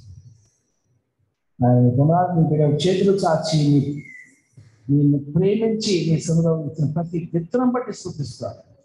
ఈ కార్యక్రమాన్ని ఆశీర్వాదించి ముప్పదంతుగా అరుగంతుగా నూరంతులుగా వారికి ప్రతిఫలం ప్రసాదించిన ఆయన వారి అప్పులు వడ్డీలు వాయిదాలు కట్టే బాధ నుండి అప్పుల బాధ నుంచి వారిని విడిపించి ఆర్థిక స్వాతంత్రం దయచేతండి ఆర్థిక సమృద్ధి దయచేతండి నా గిన్నె నిండి పొల్లుచున్నదని వారు ఎప్పుడు సాక్ష్యం చెప్పుకుంటారో ఆ రోజు కోసం ఎదురు చూస్తున్నారు.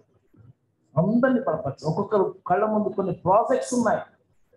లక్షల రూపాయల అవసరమైన ప్రాజెక్ట్స్ ఉన్నాయి తండ్రి బిడ్డ చదువులు పెళ్ళిళ్ళు గృహ నిర్మాణాలు ఇవన్నీ ఎంతో ఖర్చుతో కూడిన పనులు. అవి ఎప్పుడు ప్రారంభమవుతాయో ఎప్పుడు కొనసాగుతాయో ఎప్పుడు ముగిస్తాయో అర్థం కాని పరిస్థితులు.